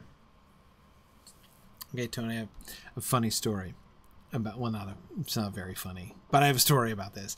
Um, so Tony is asking about the capitalization of race names: hobbits, dwarves, elves, but they're not always capitalized. Um, I my story about this is that I wrestled not literally. I figuratively wrestled. This is one of the things that I figuratively wrestled with the Houghton Mifflin proofreaders about with my exploring Lord of the, uh, the Hobbit's book. Um, so when I was doing the exploring the Hobbit, uh, I sometimes capitalized elves and I sometimes didn't capitalize elves, and they hated that. They they were like it should be is it capitalized or not capitalized?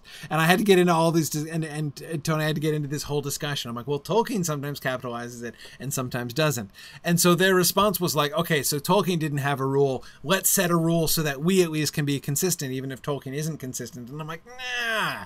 It's not that tolkien just was arbitrary about it. It's just that he had a particular uh, he I, I I I believe there is a pattern that you can really uh, um, that that you can really uh, uh, you can see a pattern, but it's not necessarily obvious. Um, and the answer, I think, is that basically, I mean, it's like a, it's very simply, it's proper noun or common noun. You can use them as either one, right? If you are referring to hobbits, right, uh, like there were four hobbits walking down the road, that's a lowercase h. You wouldn't capitalize that usually, right? Um, there were four hobbits walking down the road. Or Take me to see elves, sir. Right. Lowercase, right? Elves, sir.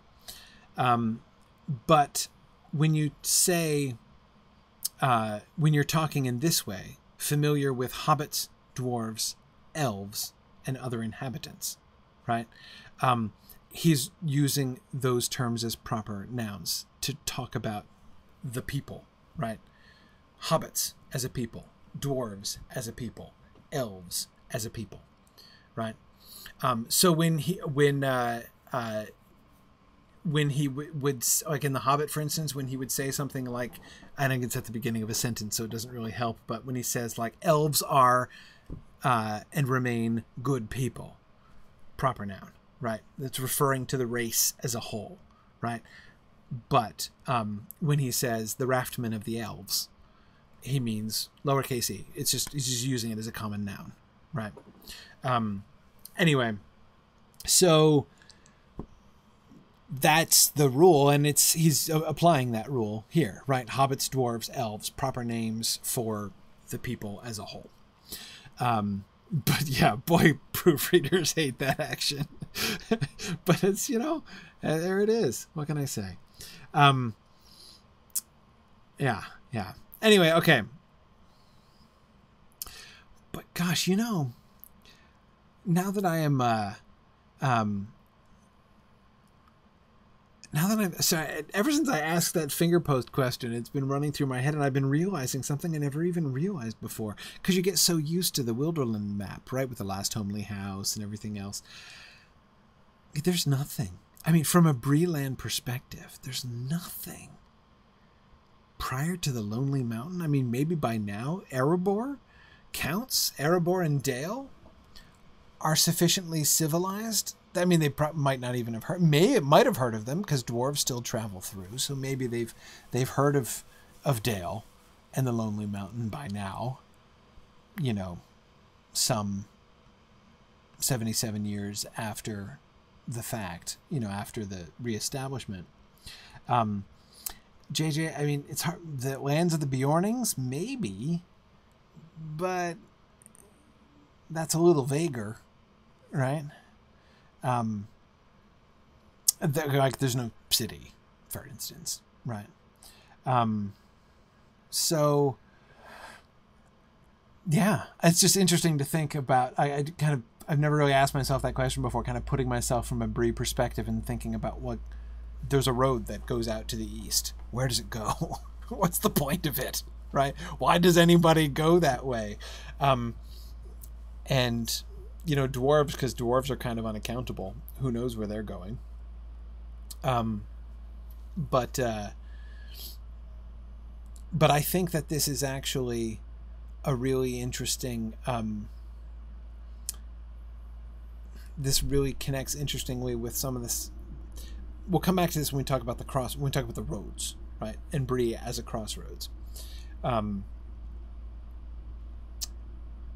anyway, yeah, we'll come back to that. Okay. So, small country of fields and tamed woodland. So we've got the, Bree's Bree's an island in the empty lands, right? So it is not the Shire.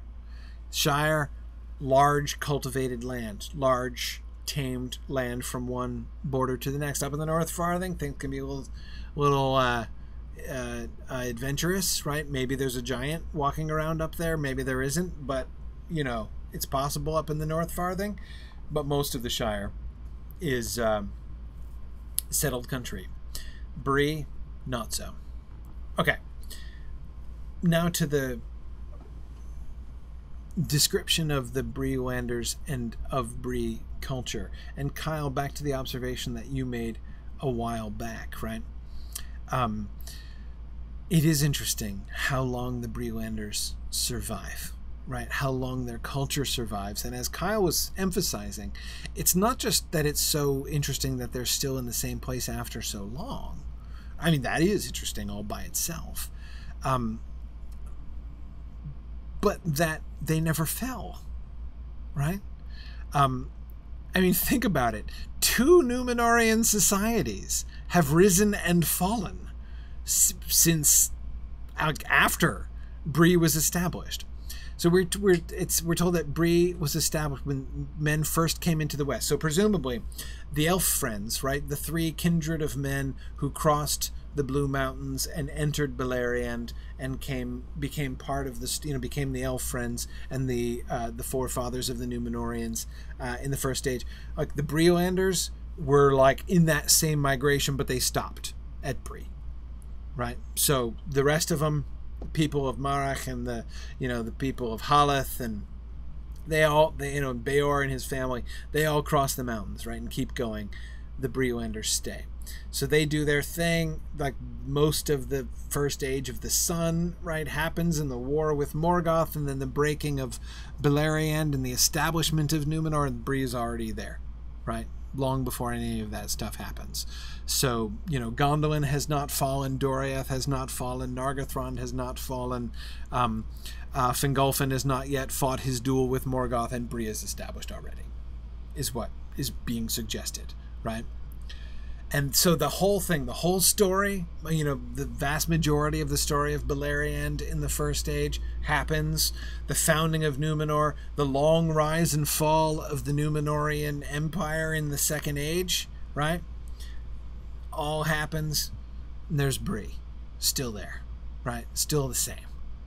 And then the kings returned again over the Great Sea, and they find the Bree men still there right? So we get Elendil comes back and sets up his new kingdom in Arnor, now quite close to Bree, right? Uh, quite close to Bree. Fornost is just up to the north of here, right? Which was the second capital, as we know, of Arnor.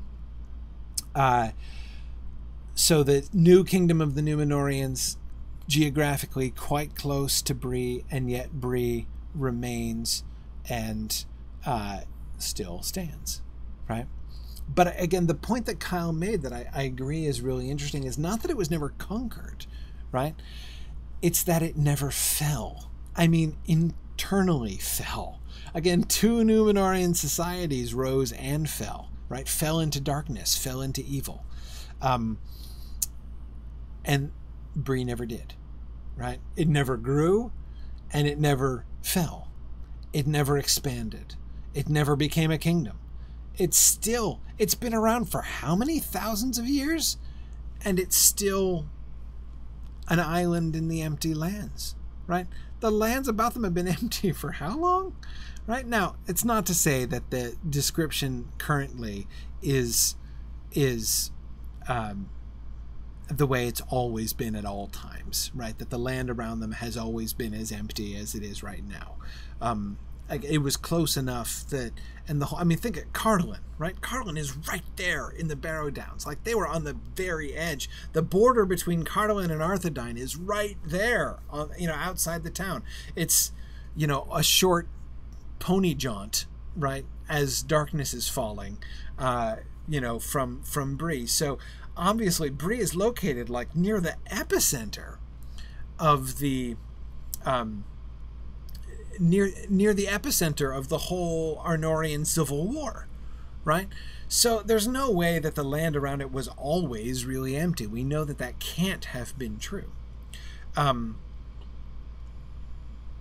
and yet, uh, they there's no evidence that they themselves ever altered, right? Um, and Tilly and I agree. It is interesting that it matches Tom Bombadil, right? In a sense, that Bree has, you know, Bree like Tom has been there, you know, functionally forever, uh, and has seen things around it come and go and rise and fall, and it remains the same, right? There is something kind of Tom Bombadilian about Bree in that way. Um, yeah, yeah. Um, but I agree, Emma Thorne. I think that um, the Breelanders do seem to be content.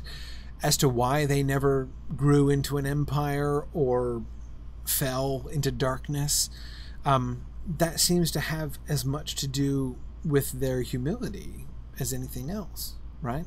Like they're a humble village, have always been. They've been a humble village for 7,000 years or something like that. Um, uh, yeah, yeah. Um, JJ, we have no idea if they participated in the wars at all. Were they aligned with Arnor? What did they do during the civil wars? It's hard to imagine that the people of Bree could have managed to remain completely independent during the civil wars. Again, they're like right there in the middle. Um, where where at least we know two of the kingdoms joined right there, and the third one is not far away. Um, yeah, Bricktails, they are an extremely strategic, like that, the crossroad. It's a, now, it's not quite a strategic, Bree Hill wouldn't be as tactically significant as something like Weathertop and Amon Sul and with its, you know, Palantir, right? So uh, Amon Sul is the place that they were all actually fighting over. Uh, and so compared to Amon Sul, uh, Bree is just a backwater, right? I mean, who cares about the little hill with the little village on it when you've got the huge hill with the mighty tower with the Palantir in it, right? So it's obviously a big, uh, a big difference. But, um, but yeah, I do think that, um, uh, Tony, as you say, the humility, their humility protects them from the temptation of evil, uh, like the hobbits. There does seem to be a, a kind of, uh, um, a kind of likeness between the Breelanders and their outlook on life, uh, and the hobbits and their outlook uh, uh, on life. Um, yeah, that does seem to be the um, um, the main thing. And yeah, Fourth Dauntless, I'm aware of that. As I was saying, like the little village on its small hill isn't all that important. Fourth Dauntless, I was also remembering other hills, which when you go, uh, Fourth Dauntless is specifically recalling Gettysburg and uh, why Gettysburg, the Battle of Gettysburg, was fought there because it was at a crossroads. And the hill, I mean, uh, Fourth Dauntless, I remember the first time I saw the hill um, that. Uh, um, uh, that uh, what's his name Pickett charged up, right? And I'm like, seriously, it's barely an incline, right? I mean, like you know, there are hills. I'm like, you know, uh, Little Round Top is not huge, but it's at least steep, right? Uh, but yeah, it's like a kind of a slope, right? Um, but uh, anyway, so I, I, was actually thinking of the same thing when uh, uh, while I was saying that. But still, again, compared to Amon Sul, Amon Sul obviously much much more important. Um, but um, yeah, yeah. Um, Aruaran, I agree. It is really fascinating that we don't get any further history of Bree. Of course, as several of you have pointed out, most of the stuff that we get, the background and the history that we're getting in this, is, is according to their own tales right? According to their own tales, they were the original inhabitants. Is that really true? I forgot who was it who asked, but somebody was asking just earlier, like, what? I wonder what story Tom Bombadil would say about that. Maybe they're wrong, right? Maybe that's what their legends say. Maybe the Breelanders haven't actually been there for, you know, uh, very long at all, and they just think they have. Um, perhaps. Uh, I, I, I don't see any reason to believe that, but it's of course conceivable that that is the case. But anyway, Aruaran, I agree with you. It is really interesting that Tolkien never gives us any more, right? We don't know. And the details on the Arnorian Civil War are pretty sketchy, right? We don't get all that much uh, told in the appendices. Um, so, uh, yeah. Um, yeah, uh, Fourth Dauntless, we're going to look around Bree. tonight in game to see what the what the because of course uh, when creating the visual uh, landscape around Bree uh, within the Lord of the Rings Online, uh, the makers of the game couldn't remain neutral on these things, right? Tolkien can just not tell us this stuff, uh, but when in the game they're actually depicting it, they had to they had to make some decisions, right? Uh, and so we're gonna, we're going to look at some of those decisions uh, tonight. Um, yeah, yeah. Um, good, good. Um,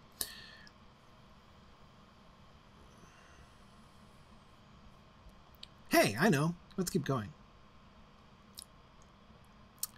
In those days, no other men had settled dwellings so far west, or within a hundred leagues of the Shire.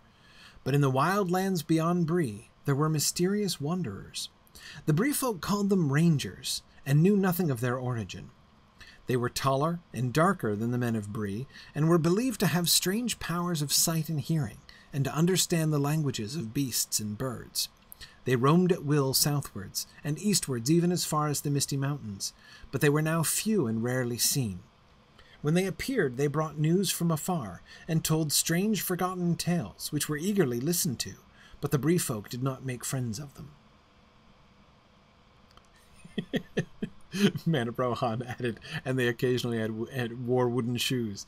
Right? Uh, only special ones wore wooden shoes. There were also many families of hobbits in the Breeland. They claimed to be the oldest settlement of hobbits in the world, one that was founded long before even the Brandywine was crossed and the Shire colonized. They lived mostly in Staddle, though there were some in Bree itself, especially on the higher slopes of the hill, above the houses of the men. The big folk and the little folk, as they called one another, were on friendly terms, minding their own affairs in their own ways, but both rightly regarding themselves as necessary parts of the Bree folk. Nowhere else in the world was this peculiar but excellent arrangement to be found. Um, yeah, good. Um,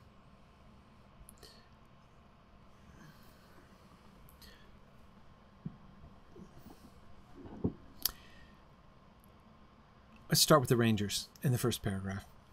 Um, by the way, I've titled this slide East and West because um, this, of course, picks up exactly on Butterbur's. You can see here where Butterbur's language comes from, right? When he says there's no accounting for East for East and West, as we say, and by that he means the Shire folk and the Rangers, because those are the only two cultural, uh, uh, like reference points that they have in Bree, right?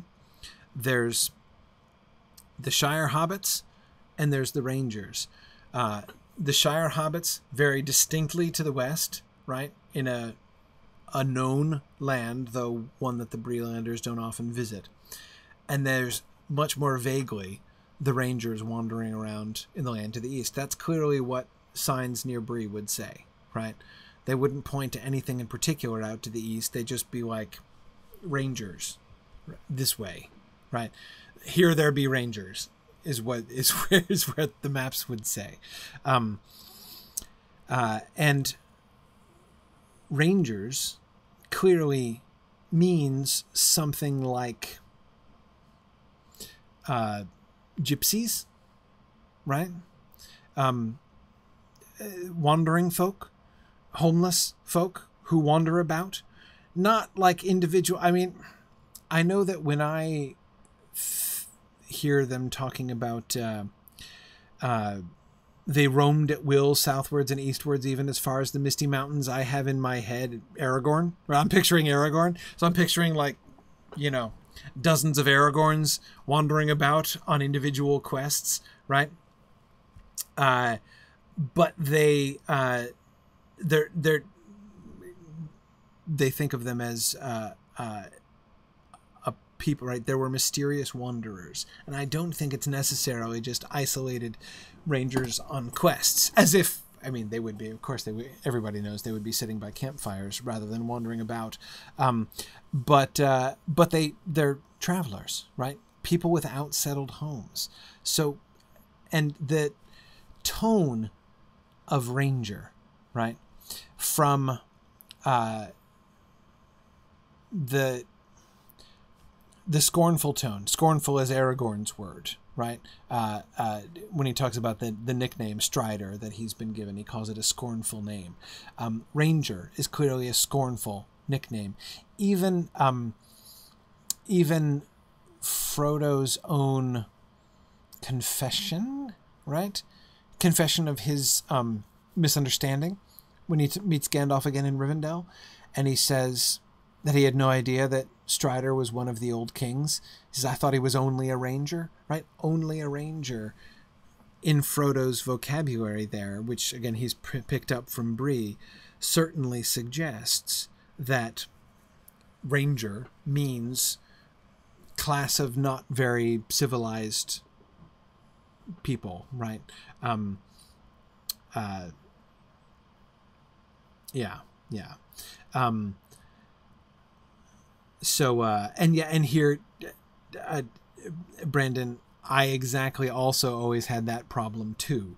Um, that because Dungeons and Dragons took the name Ranger right, and applied it to a character class, which is modeled after Aragorn in the Lord of the Rings. Um, that also like you know rangers right? Oh well i know rangers right? There are rangers that live here and there are paladins that live over there right? Um, so i mean again that, that i think that really helped when i was a kid to sort of cement in my imagination like what this meant. Um, i never pictured families like the, there have to be women and children too right? Uh, there have to be like family units but they don't have a village.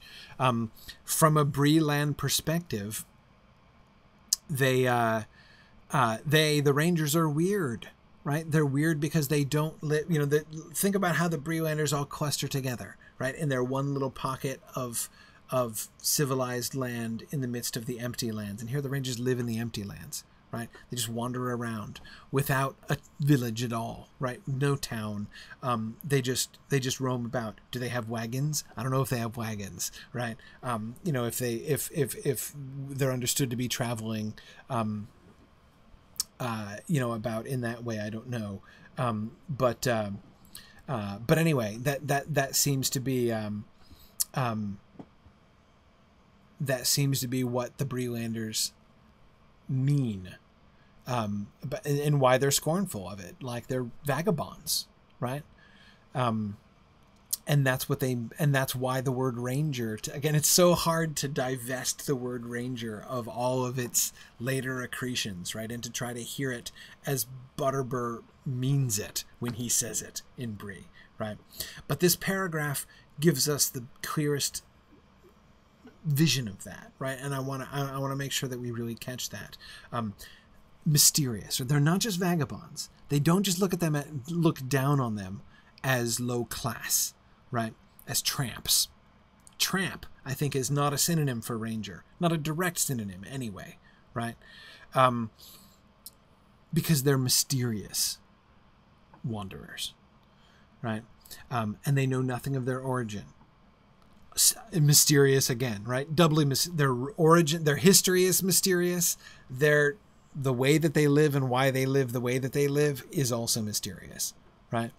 Um, they're different they're taller and darker than the men of Bree, right? So they they they they're from different stock than the Breelanders. Clearly, they're from out of town, um, and they're believed to have strange powers of sight and hearing, and to understand the languages of beasts and birds.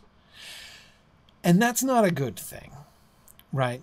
That makes them fishy and weird, like mysterious again, right? And but spooky now and potentially uncanny and probably untrustworthy right? Um yeah yeah. Um yeah Erokeb says I can imagine brief folk Bree folk stories featuring you know rangers with kind of uh, uh, you know unaccountable powers that can help or hinder the protagonist of the story depending on their mood. Sure, yeah, I, I would imagine the same kind of thing. Um, yeah, yeah. Um, well, Tony, we have to be careful about the Rangers of Ithilien, right? Because by the time Fr- Frodo, by the time Frodo gets to Ithilien, his definition of ranger is totally changed, right? Um, yeah, yeah. Um, yeah, Amathorn and they're secretive, right? Exactly, exactly. Um, Fourth Dauntless says so. The Breelanders think of rangers as fairies. You know, there's something like I this description doesn't this description sound a little fairy like right? Um, mysterious wanderers understanding the languages of beast and with magical powers right? Um, wandering through the wild country for undisclosed reasons doing undisclosed things right? Yeah um, oh, and I agree, Tony. The fact that it, it is not at all obvious that they can understand the language of beasts and birds. I, I think that if we we can't rashly conclude from this that that's obviously a power that the Dunedain have, right? We can't be sure about that. All that we know is that the people of Bree believe that they can, right? Um, now, maybe they can, maybe they can't, maybe some of them can, uh, but um, uh, and yeah, uh, Tony, remembering Bard and the people of Dale and the line of Girion who can understand the thrushes, uh, should come back to us here. But um, yeah, yeah. Um, now, uh, uh, Sikaya, that's a really interesting point, and I've been avoiding that word, but I'll not avoid it. Um, Sakai says it, it, it's it's almost like accusing someone of of witchcraft. Um, that I, I have been avoiding that, and the reason I've been avoiding that is that I don't. Uh, strange, mysterious people who have strange and mysterious powers, and believing that they are therefore quite likely in touch with dark powers and to be feared as servants of evil. Um,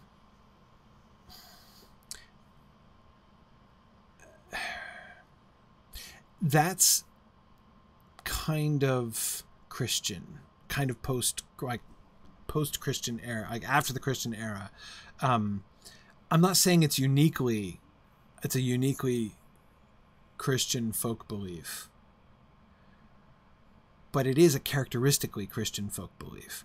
Um, and I'm not sure that it would necessarily be relevant. That is because, and when, when I say that it's Christian, what I mean is, so um, if you're a, a Christian peasant in, say, the 17th century, and there's somebody living out in the wild and you believe they have strange powers, well, where did they get those powers from?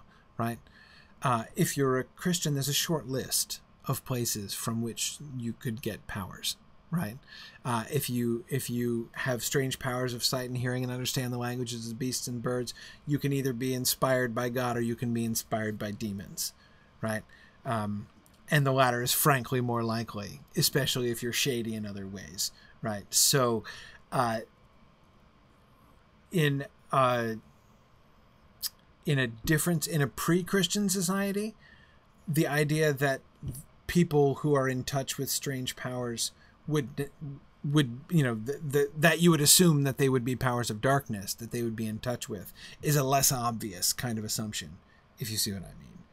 That's why i've been kind of avoiding that because it's a natural kind of thing to say but i don't think it necessarily applies. Um you see what i mean by that? Um yeah. Now, I, I agree. Um, Mad Violinist. It, there are other things, right? Fairies were a classic example, not just in Irish culture, but in many cultures, of this sort of third category, right? Something which is not exactly doesn't look like a demon, but isn't probably from God either, and we're not quite sure how to fit it into the worldview. Um, that's uh, agreed. I, am not saying that everything is simply binary in that way. I'm just saying that that kind of feel like the that you would go straight from one. I suspect that this person has strange and supernatural powers, and two, I assume that that person most likely is getting them from demons or from agents of darkness. That's uh, that's that assumption uh, is an assumption that's kind of easier from within a Christian framework than from within a pre-Christian framework. Um, but uh, sorry, I didn't see your name there on Twitch. Uh, your question about the language there. There's it's interesting here that there's no indication that the Rangers speak any other language. I, they do clearly, right?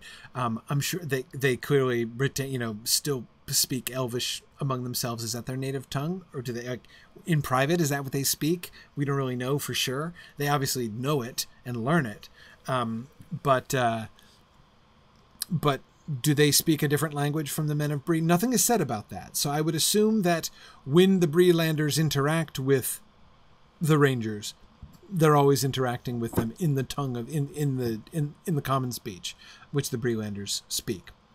Um, so, uh, I because again nothing here is emphasized about them speaking a strange language, and you know that Tolkien would have emphasized that if that had been an issue for the Breelanders, right? Um, yeah. Um, Karita is still confused as to why talking to animals would be scary or bad, since talking to animals is obviously awesome. I hear you. Um, it's scary if others can do it and you can't, right? And perhaps, uh, you know, you might be envious, right? But I, I agree, it's totally awesome, right? Um, and yet, um, it's it's if you can't do it, it's uncanny Right. Um, yeah. Yeah. Um, yeah. Good. Um, when they appeared, they brought news from afar and told strange, forgotten tales which were eagerly listened to, but the Bree folk did not make friends of them. Um, that last one is one of the most interesting things to me that they bring news from afar and tell strange forgotten tales, right? Telling strange forgotten tales, not that shocking, right? But uh, um, bringing news from afar is really interesting, right? Um,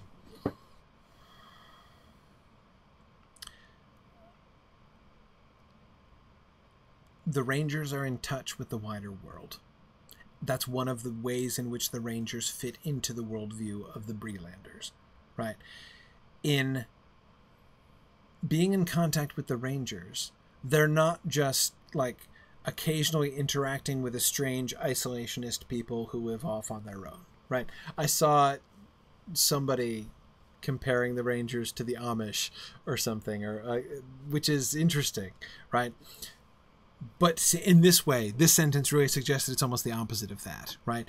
Instead of seeing the, and that's what I find so interesting about it, right? You might think that the okay, you know, you're you're this separate, weird kind of culture out there, and again, the East and West thing almost suggests that, right? We've got the hobbits over here, we've got the Rangers over here, and here we are in the middle, right?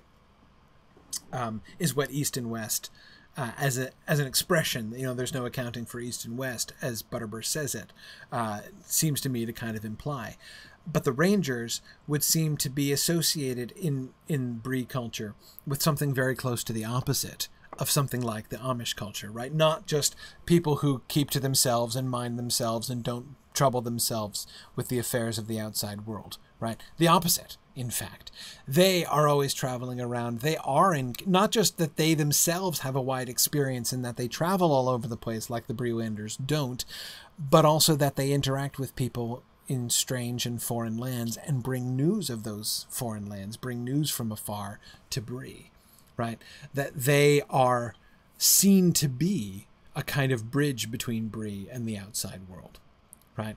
And that this is true geographically, but it's also true chronologically as well. That they bring Bree into contact with the ancient world, with uh, uh, from which they, the Breelanders, are otherwise cut off, right? Um. Yeah, yeah. Um. Yeah, are there female rangers, Veronica? An excellent. I mean, yes, in that we know they reproduce, right? But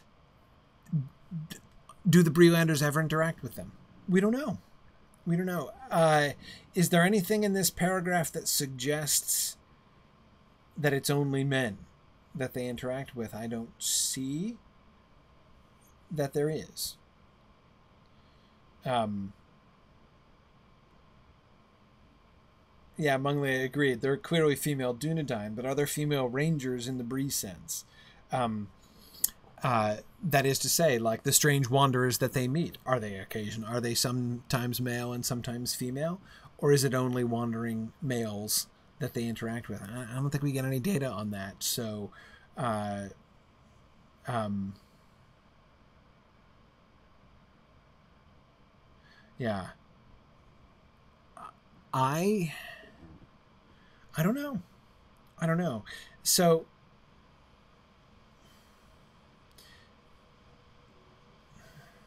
yeah. I, I don't I, I don't know.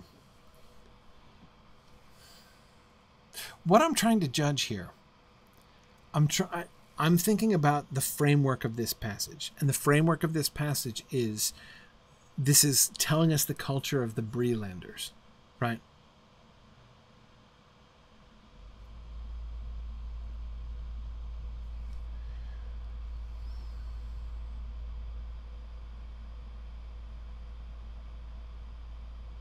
And based on how they describe the Rangers,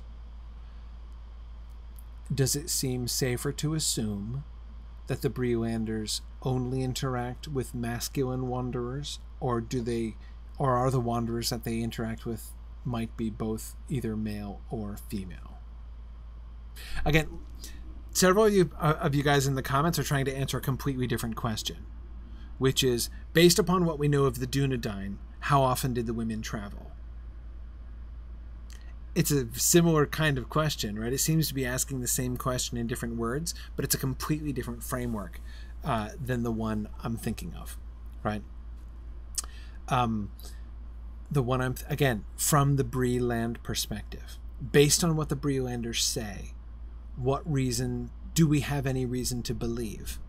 Does it seem likelier that they were all men or all women that the Breelanders interact with? Do you see what I mean? Forget the appendices. The appendices don't tell us anything about the Breeland perspective. Forget about the appendices. Appendices irrelevant. Think only of this passage and what is said in Bree about the Rangers. Would they mention female Rangers as a strange thing? Ambrosius Aurelianus, see, that's what I'm trying to decide. I'm trying to decide if I think the Breelanders would find it stranger that women traveled or if they would find it stranger that they never saw any women of the Rangers. In which case, there would be, wouldn't there be? Because they would know that they existed, since obviously they reproduced Rangers, right? Uh, they stick around generation to generation, so they clearly have women folks somewhere. So, wouldn't, if they only interacted with men ever, wouldn't that then suggest that there was some kind of uncertain, you know, some kind of hidden secret base that nobody knew about, even though it was. I mean, I don't know. I'm trying to think what would be stranger, what would be more unusual. And I question. I don't. I don't, I don't, I don't challenge, but I question the assumption that Tolkien wouldn't have women wandering around. Wouldn't he? Couldn't he? Is that automatic? I don't know.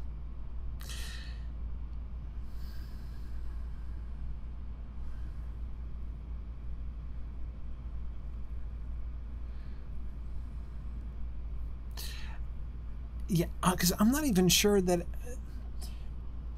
As I as I said at the beginning, I'm not at all sure that solitary wanderers are what is being described here. In the wildlands beyond Bree, there were mysterious wanderers. The Bree folk called them rangers. They roamed at will, but they were now few and rarely seen. I'm not at all convinced that the interactions that they're having with the Rangers are just solitary men. They could be family groups. That seems to me likely, really, based on this.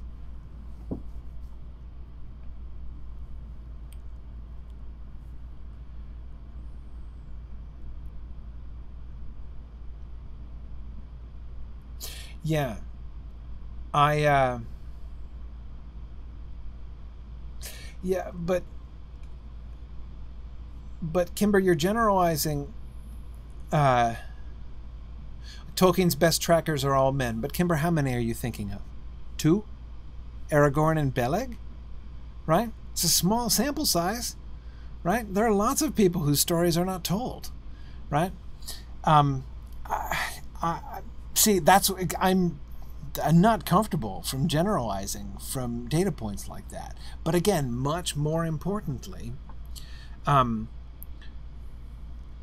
based on the description here based on the breeland perception of the rangers the mere fact that they think of the rangers as a culture the rangers to the east the shire folk to the west right suggests to me that they're not thinking them as just random individuals.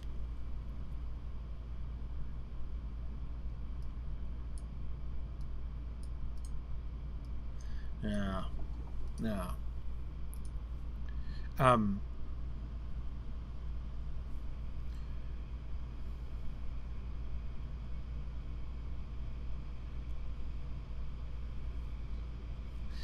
nah, no. No, okay. Uh,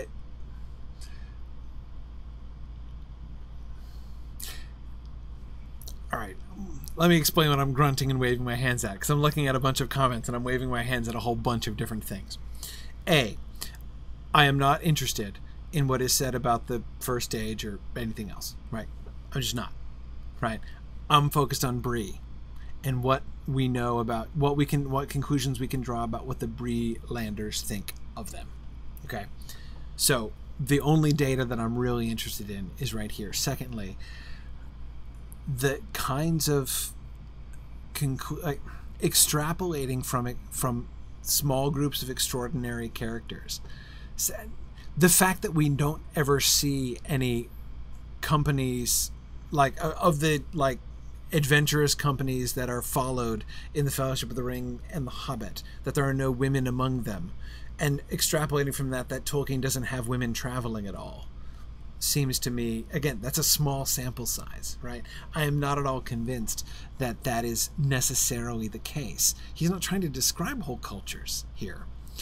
And what we do get here from the Breelanders' perspective is that the Rangers are wandering people they are mysterious wanderers. Um, they roamed at will. They are now few and rarely seen. I am not convinced that these are stray, random masculine persons that they're meeting necessarily. Um, yeah, yeah.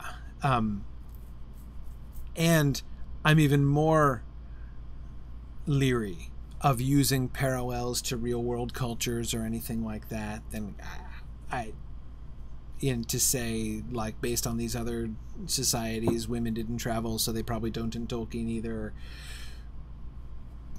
Okay, uh, but that's not data, right?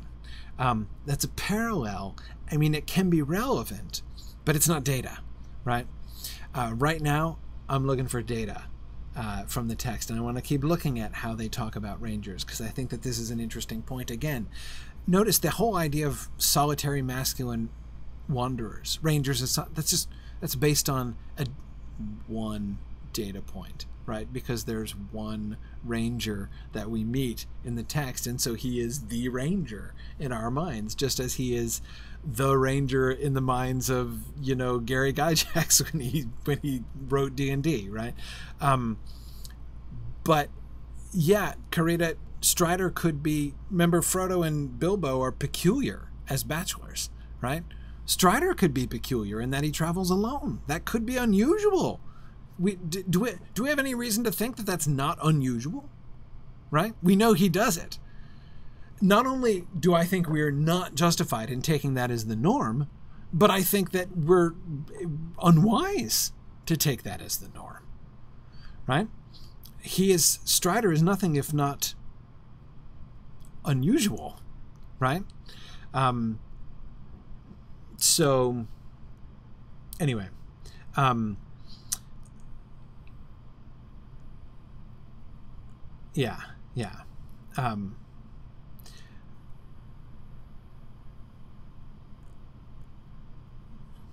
yeah. Um,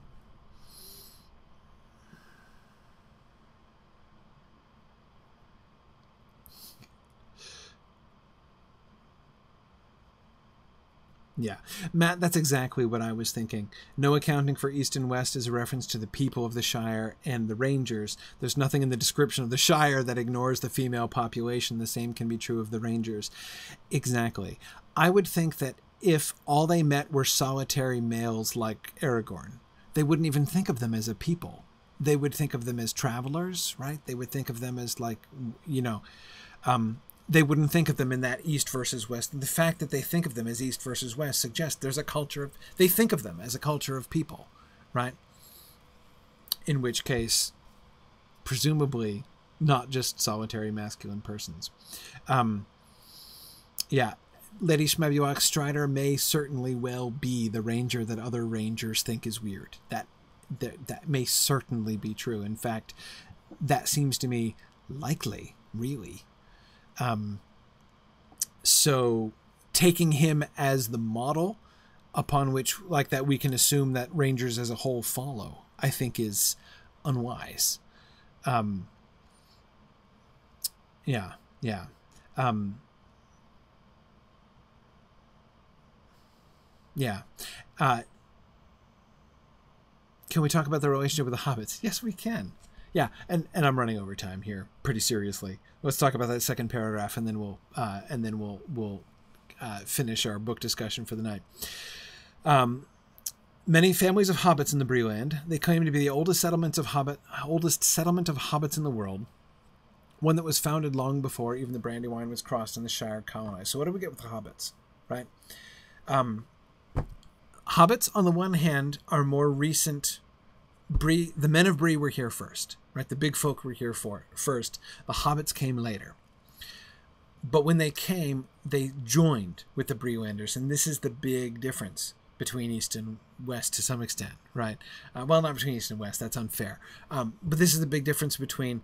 So, so we have the Rangers who have come into the area but who have not connected with the Bree-landers, who have remained separate, right? And you have the hobbits who came in and they moved in, right? Now, some of them moved out again and became weird over in the Shire, but the hobbits have been there forever, right? Um, yeah, yeah. Um,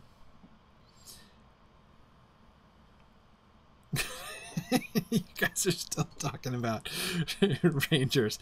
I'm going to, uh, uh, I'm going to, I'm going to, uh, not talk about that anymore, though. Um, they live mostly in Staddle, though there were some in Bree, and especially on the higher slopes of the hill above the houses of the men. That I assume, I'm trying to parse that, right? Is there significance to that? Does it say, I mean, that is, does, does, does it tell us something about the, sort of class, uh, any kind of class distinction between the big folk and the little folk in Bree, but I don't think so. I think that that is pragmatic, right? Um, or that they got there second, so they go further up the hill. But Mad Violinist, I think it's just like because the Bree-landers are building above ground, right? So you want to build on the lower and more gradual slopes of the hill. Whereas when the slope gets steep up at the top, the hobbits can still live inside, right? Since they're delving into the hill, um, you know, a steep hillside is quite congenial, right? Perfect, in fact, for them. Whereas if you're tr- if you're trying to build a house, uh, an above ground house, a really steep slope, not the place that you want, right? So, um, it seems more like a it seems more like a uh, uh, a um, you know I don't know Jack Sprat and his wife kind of situation, right? That part part of the hill is perfectly suited for the hobbits, part of the hill su- perfectly suited for the big folk, and they all lived happily there together, as far as I understand that. Um, uh, yeah, a a happy arrangement, uh, an excellent arrangement, right? Um, it's interesting though that they mind their own affairs in their own ways, right? They both rightly regard themselves as necessary parts of the Bree folk, but they're necessary, but they're still kind of separate parts. Um, they're sort of egalitarian, but they're not exactly mixed in the sense that nobody really pays much attention, right? And they're all they're all kind of uh, they don't seem to mix that freely, and I don't mean like intermarriage, which would be awkward. I mean, um, they mind their own affairs, which makes it sound like they have kind of separate subcultures. It's just that those two subcultures uh, are harmonious, right? Um,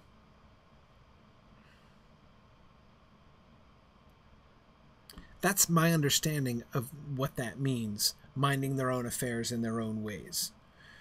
So for instance there would be like different we don't know anything about the politics of Bree, right? Who's in charge in Bree?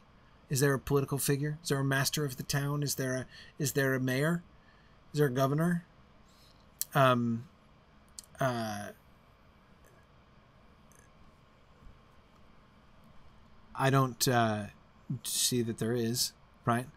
Um, it seems to be basically anarchic, right? Like all good societies in Tolkien. That's not true. But anyway, like many good societies in Tolkien, it's anarchical. Um, uh, everybody's minding their own affairs, right? But the hobbits mind their affairs together, and the men mind their own affairs together. Um, and I agree, minding your own affairs does seem to be uh, uh, a part of Bree culture, Matt. Um, yeah. Yeah. Um, it does seem very Shire like, uh, Ambrosius Aurelianus. I agree. Um, the Shire does have a titular mayor, that that's not exceptionally relevant, right? He doesn't really have any power exactly. Um, yeah. And Tony, I agree. Butterbur does seem to have some authority in town, right? At least sort of unofficially. Uh, but it's it, I don't get I don't see any information about um, uh, the actual political structure of Bree. But but as far as the relationship with hobbits, it is interesting to me that although uh, the coexistence of hobbits and men in Bree is called by the narrator an excellent arrangement it's not true it's not truly mixed the society. Again they're parallel. They do mix like at the prancing pony. There are both hobbits and and men there right? Uh, so you got big folk and little folk get together and all drink down the pub. And that's an important mixing, right? Certainly a very important social moment. Think of, for instance, the difference between the ivy bush and the green dragon, right? The ivy bush is the place where the old fogies drink, and the green dragon is the place where the younger generation drinks. That's like all we know about those two pubs, apparently. And it's an extrapolation based upon the, fa- you know, the location of the different generations of conversation there. But, um, uh, uh, but anyway, yeah, uh, Lincoln, exactly. They intersect more than they mix, right? There's even a sense. Don't you get the sense in the in the common room of the Prancing Pony that the hobbits are sitting together and the men are sitting together, right? It's probably not like big, uh, you know, tables where there are men and hobbits both sitting together and drinking together, right? They're like near each other, but they're um, they're not necessarily together.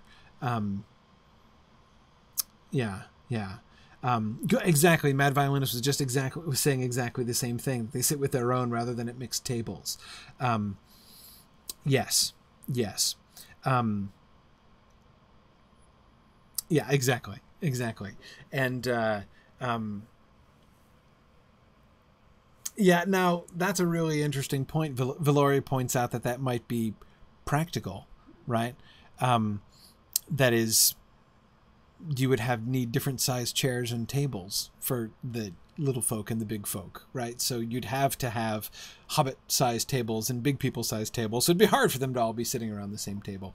Um, agreed, agreed. And it, it, again, I'm not trying to suggest, I mean, you know, I don't want to, um, I think it would be wrong to try to look at this um, with uh, to look at the Bree culture and to to to suggest that like tr- actually it's like a, a, a divided and divisive culture and there's this like you know uh, like submerged racist subculture in Bree with them not mixing with each other and stuff.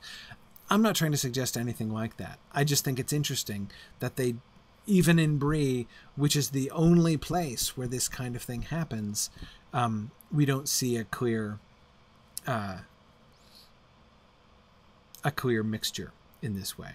Um, and Lincoln is wondering why. Why don't we get more mixed cultures like this? And that's a great question. Um, like uh, cosmopolitanism is extremely unusual in Middle Earth. Um, that's true. It's very true. Um,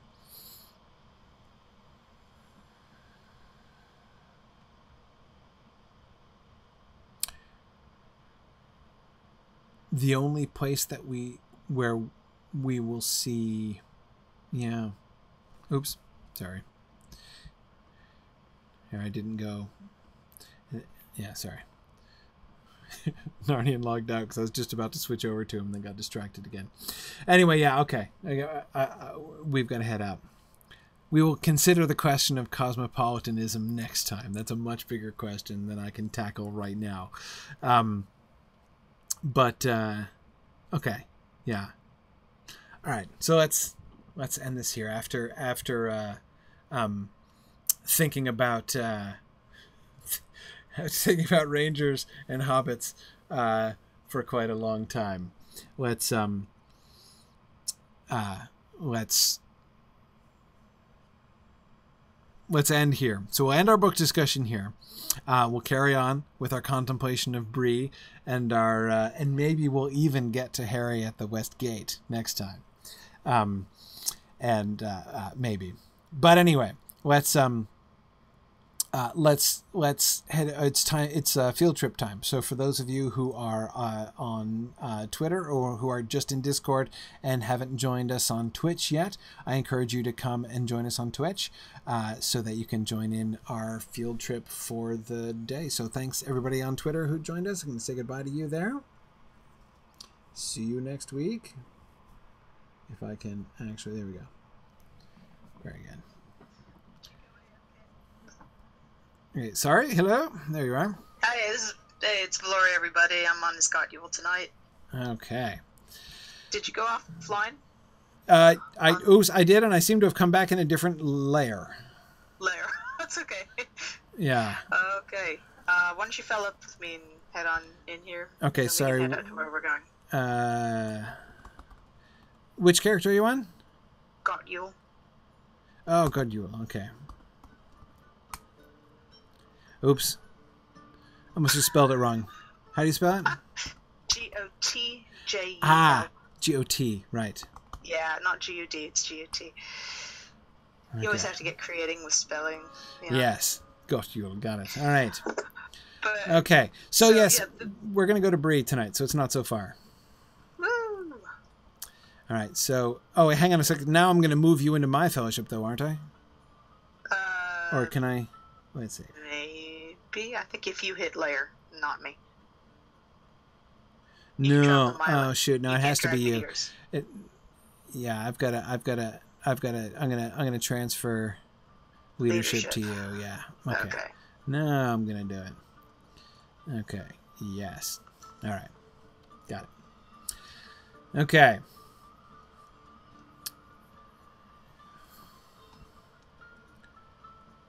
Any moment, folks.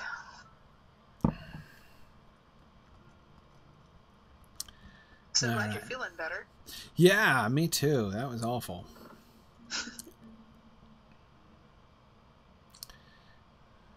So yeah, but the minute you talked about everybody sitting at segregated tables, I immediately thought of uh, going to my kids' school on parent night yes. behind those chairs. I, I remember because my my daughter's in fifth grade this year, and this is the first time we showed up in uh, parents' night, and the chairs were actually our side, and you could just hear the round of sighs of relief from Oh, all the my goodness, when We saw the size of the chairs. We wouldn't have to sit with our, our knees up to our chins. Absolutely. There might be some crossover at the tables, but it has to be pretty awkward on either side. Yes, yes. You would think uh, that that would be a major part of the table thing, and you're so right about uh, Parents' Night. Okay, um, let's meet up at the crossroads again. Okay. Did you make it over to the layer or what? I did. I, I am in your Okay. lair now, Okay, cool. but I was already on the way out to uh, the street. Outside. Uh. When Oh, you thought we'd all left. Gotcha. I switched over. Yeah. Okay. Sorry. Yeah, I know. I just uh, it vanished and then didn't successfully fully return. So That's all right. So let's um, head out to the crossroads. Cro- crossroads. Yes, we'll meet at the crossroads here. place.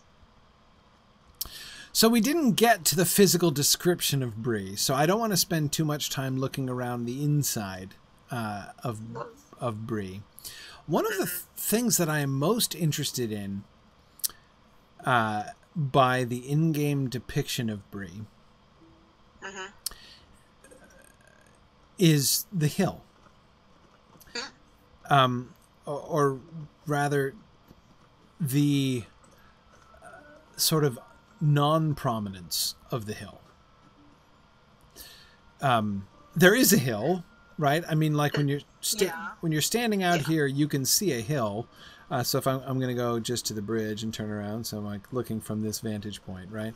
So when you're looking at the at the town from a distance, okay, there's a tree in the way, but there's a hill over there on the left, vaguely next to and behind the town. But you would certainly never describe this looking at it from here as a town on the slopes of a hill. No, it's it's more like a, a slow, steady grade Yeah. or something like that.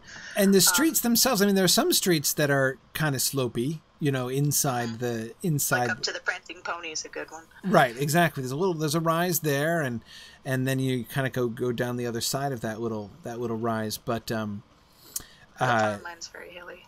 yeah, but it's it's it's it's mostly it's so it's you know one interesting choice, right, is that they've kind of flattened out Bree a little bit. They've made it next to well, I mean, again, a sort of hill, but it's more of a shelf or step.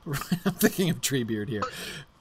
Yeah, well, the, there's a ditch around the, the hedge that you can actually see is buttressed in some place to uh, stop erosion.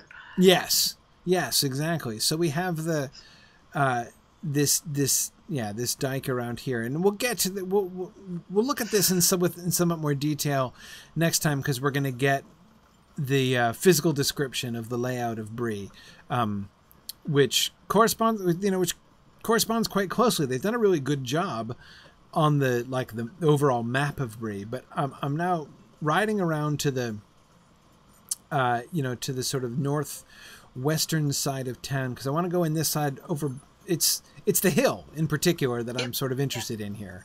Yeah, Um, this is the part I was thinking of when we were talking about the human houses and the hobbit houses. Right, exactly. Um, so I want to see I want to see how we depict that here. So we've got some. There's a gatehouse. All right, there's a gatehouse. And so here down here we have some we have an estate, right? We have some uh, some human houses down here. Definitely human houses here. Right, and if we look now here, we're coming back down into the center of town, that we just came from, right? All people houses down here Yeah. at the foot, and that you know little farm down there at the foot of the hill. Uh-huh. Um, but then if we go up onto the slopes of the hill, um, we do get right hobbit houses set into the sides of the hill up here. A few more up there too. Yeah, yeah.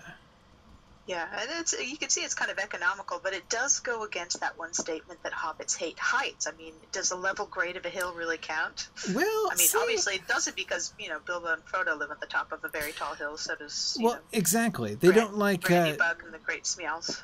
Right. They don't like going upstairs, but I'm not sure um I'm not sure that they dislike that they dislike you know, you know Sam doesn't like looking down from a height, but that's from the edge of a cliff, right? Yeah. Um, well, that, that patio in front of the, the in front of Bag End is pretty daunting. Yeah, exactly. You would think that uh yeah, I I mean I've got to think that the hill was a little more gentle than they depict it in the game. Um though, Yeah, you know, I it's mean an easy way to get to the party festival grounds. Exactly. Exactly. And so then here up at the very top of this path, which is not even paved, right? This sort of dirt path that we've been following here, we Yep. have the ruins of an Arnorian tower. yep. And this, of course, makes good sense, right? That the Arnorians would have built like a watchtower up here. And I really like how it's pretty much independent of the whole rest of Bree, right? Um, it looks down over the town. And if you look over, there's nothing, there's like no native Bree structure that is on this level. Like the Yeah, Bree. you get the feeling. Yeah, this is like the the secret place that the young men go to smoke where their parents won't catch them, sort of thing. You're right, because and that that by itself is kind of intriguing, right? Um, and an interesting little sort of piece of interpretation, I think. Um, on the one hand, Bree is clearly described as being a town on a hill, and yet in the game they've made they've made the town uninterested in the hill. You know, you, you, Yeah. you see what I mean by that? Um, It's it's a town despite the hill. yeah, it's next to the hill. Um, it's sort of under the hill, but it makes sense that I mean, but I, I, I don't dislike what they have done. I mean, on the one hand, okay, well, so a couple different things. One, Building on a hill is tricky for one. building on a hill is tricky. Yes, um, it's almost like in the game they've gotten themselves into like a reverse scale problem, right? I mean, on the one hand, the scale they're they're you know we've talked about the scale problems that like how everything has to be kind of closer together. You can't make uh, you know you can't make points as far apart as they are in in the book, uh, or else people would just be traveling forever. And so you know going from Breed to the Barrow Downs is is a matter of seconds, um, and it's obviously not that close to Westgate. But nevertheless, um, here in Bree, I think we have really exactly the opposite problem. That in order to make Bree look like a significant, uh, a significant town, right? Um, If it's on the hill, the hill would have to be huge to accommodate yeah. the size of this town, right? Yeah, yeah, it would be. It'd be. Um, I, I, yeah, I really can't think of anything similar to that. And have a hill that size, it wouldn't be a hill. It'd be some sort of geographical altitude at that point. Yeah, exactly. And it's, like I said, it's, it's sort of a weird scale thing because I don't think that this means that they've made Bree too big. Um, in in the passage we didn't It looks like a good size. Yeah. This- well in a passage we didn't quite get to tonight. Tolkien numbers it. He says there are about a hundred houses in Bree, and I don't think there are many more than a hundred houses in Bree as we get it here. Um, I mean, I, I I think they've got the size about right of the town. Um, but on the in-game scale, a town of a hundred houses, if you're going to make that all on the slopes of a hill, I, I, just like because of the way the scale works, it it takes you as long to. I mean, if, think about it this way: riding from one end of Bree to the other, right? takes you as long as what getting from Bag End to you know getting from Hobbiton to Stock almost. I mean, Uh-huh. not, maybe not quite. Maybe Frogmorton, um, maybe Michel Delving, right? But I mean, it's as far as the amount of strides that your character takes in game, it's it, it's a big stretch of land, right? And and, bef- and before they even expanded it, even before then, it was a maze. I had so much trouble navigating it my first time, and it took Yes. months before I was able to memorize anything by sight. And then they made it bigger, and then you know I must feel like the hobbits looking at all this and going, "How in the earth am I going to find anything and get there when I need to?" Exactly. And that's, of course, another thing is that one of the things that they clearly wanted, I mean, it seems that they really wanted to represent, is that sense that when you get to Bree, you should have that, you know, country bumpkin, wow, I'm in the big city now feeling, right? Like, you know, th- Yeah. they want to replicate really the do. feeling that Sam has. Yeah, and you do. If you start the game as a as a hobbit and you're wandering around the Shire, when you first get to Bree, it feels like the big city. So I, I think that they they've done that very effectively. But I, I, as I say, in the end, I think they were smart to make the change that they. It is a change to put Bree in the valley, essentially underneath the hill here. Um, but here's what I like about this spot, right? Not only that it acknowledges the history, right? That the Arnorians around here would certainly, you know, howsoever Bree land may have been involved in the civil wars, and there's lots of thinking that we can do about how that may or may not have happened, or what Arthedain might have done, and what role they might have played, and what relationship they might have had with the Breelanders, none of which were actually told in the books, right? But we can speculate about all those things. However, like surely the very least they would have done is build a watchtower up here so that they could, you know, spy out the movement of their enemies because this is the biggest hill, you know, for quite a ways around. Um, yeah. And yet, I kind of like the fact that in the game, Bree itself, the Breelanders themselves, seem totally uninterested in this height. Like no one has built here, no one has used this for anything. Um, the hobbit holes in the side of the hill are the only thing that we get up here. They don't want to look around. What, what are they going to look at, right? And that, that you reminded me that the fact that we're given so very little information about Bree and its people and its history, it reminds me a lot of when I lived in London as a kid, where you know, coming from a, you know, the United States, where our our history can be measured in inches, or theirs is me- measured in miles, Right, right. and just you know how uninterested native Londoners were that oh, this was built out of a Roman wall. Right, This was, it, yeah, this this area was uh, sacred to the Druids, you know, right, right. Like thousands of years ago. This is the part that was burnt down and rebuilt. The you know, 14 famous architects built different parts of this one street, and they're just like, this is just where I live. This is Right, That's, right. Like I already know all this. I already know all this. I grew up knowing this. Why are you so impressed by this? Yes, yes, yes. Yeah, no, I know, I know just what you mean. Um, and uh, yeah, but the, the, so they, they, they, they don't they don't care that these ruins are up here. Um, but what's more, they don't like. Why would they want a view? What would they look at? There's nothing to see here. I mean, other than the town. But they live down in the town. Like, there's nothing to the south. There's nothing to the west. Right? Like, what are they going to look out for? Um, you do you do you see what I mean? I mean, it's like that by not having them up here, not having watchtowers, not having them looking out from the tops, it emphasizes the way that Bree is like just sort of inward facing, right? They they don't look out. They're not interested in surveying the countryside.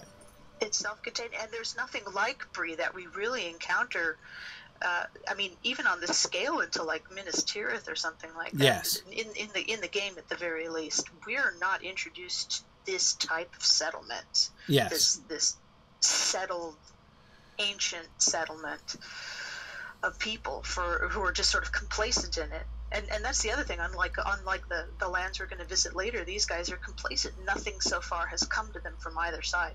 Yeah, yeah, yeah, exactly, exactly. Um, it, it occurs to me to wonder, can you get up onto the very top of this hill? There's more I've up tried so hard. there. Oh yeah, you can't. yeah. Okay. That was a that was a weird sick day. Yeah, I uh, see. there there are definitely parts of the game where I have exerted myself in a similar way, but I was just cuz like it's so close. It's so close, Yeah. but you can't get up there at all. It looks so close. It looks so close. Yeah, and I'm noticing some houses back up on this hill that you can't get into. Up here, you see, it like they actually are up the hill.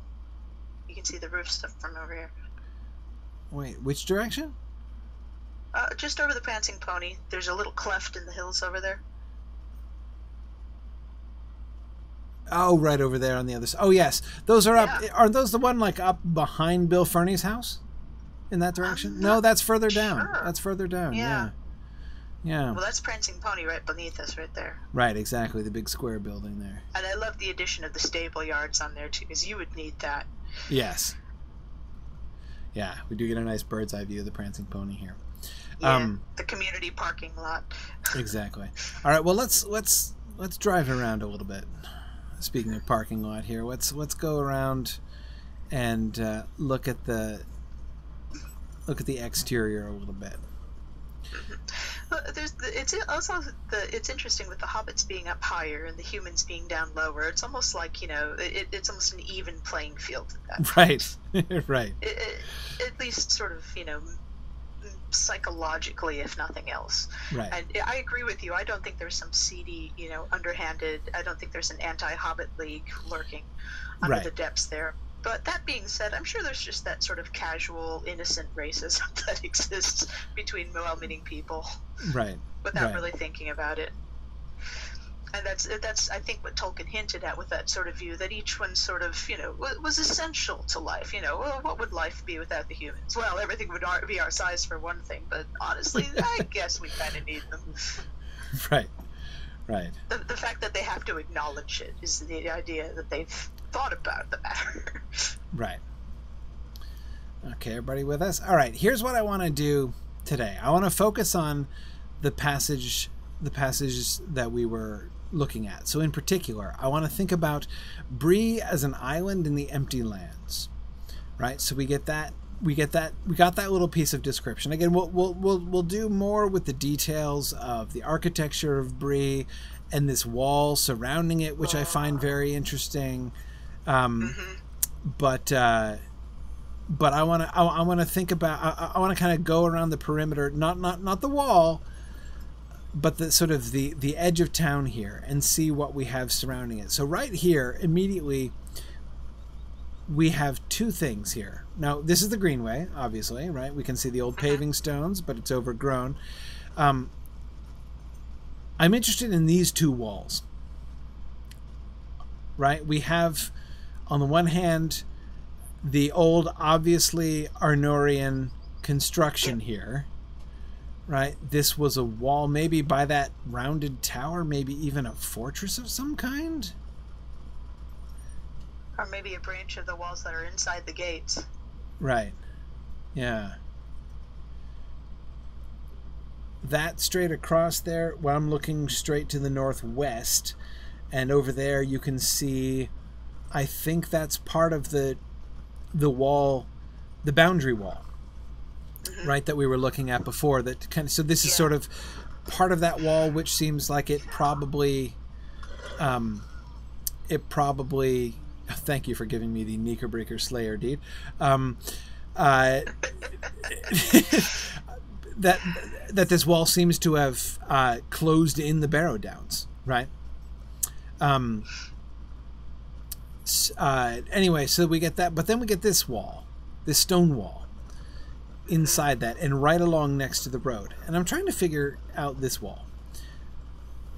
This looks like the kind of walls you get by digging stones out. Of, It uh, sure does. things. I mean, it's far neater than, say, the stone walls that we have all over the place here in New England, which, because we have so many rocks in the ground, um, that when you plow a field, you end up with huge heaps of stone, which it's better to make into walls than to leave in huge heaps, um, taking up a lot of your space on your land. Um, Just like Ireland. Exactly, exactly. Um, so, but it's very neat, and it looks like it's. Uh, is there mortar in these stones? No, they're just, but they're set carefully. Look at the little ones wedged in and everything. This is clearly a, Yeah. a carefully constructed wall. Um, And it's old. There's moss growing on it. yeah, it is old. It's not ruinous though. Is this a more modern wall? Yeah, maybe. It, it's almost like a "don't play on the ruins" wall. you know? yeah. To keep the kids off the ruins, you know, is this the like so? You know, when you take the elementary school trips out to see the ruins, like don't go past the wall, kids. Um, Seriously.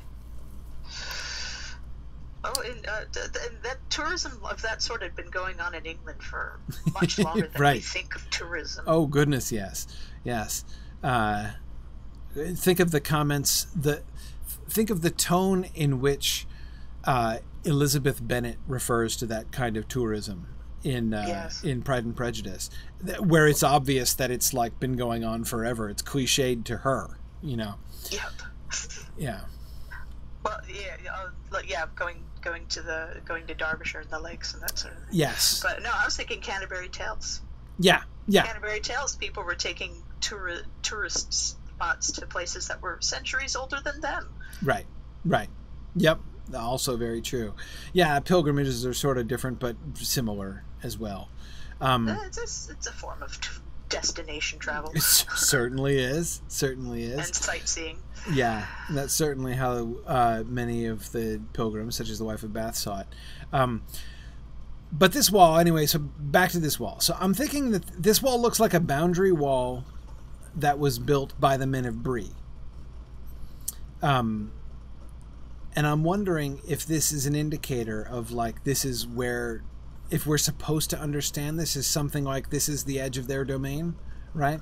This is the edge of like you know beyond this is the is the uh, this is the this is the border of the island, you know, uh, you know beyond this is empty lands, and certainly Or to the west of jurisdiction. yeah to the to the west of this is uh, uh, is Barrow Downs, obviously. Well, let's keep keep going our, our rough circuit around the land again Oh, when was the agreement made that the hobbits would not be pestered later. later? Yeah, we don't have any anti-hobbit pestering rules until Aragorn passes them, I think. Oh, that's right. Yeah.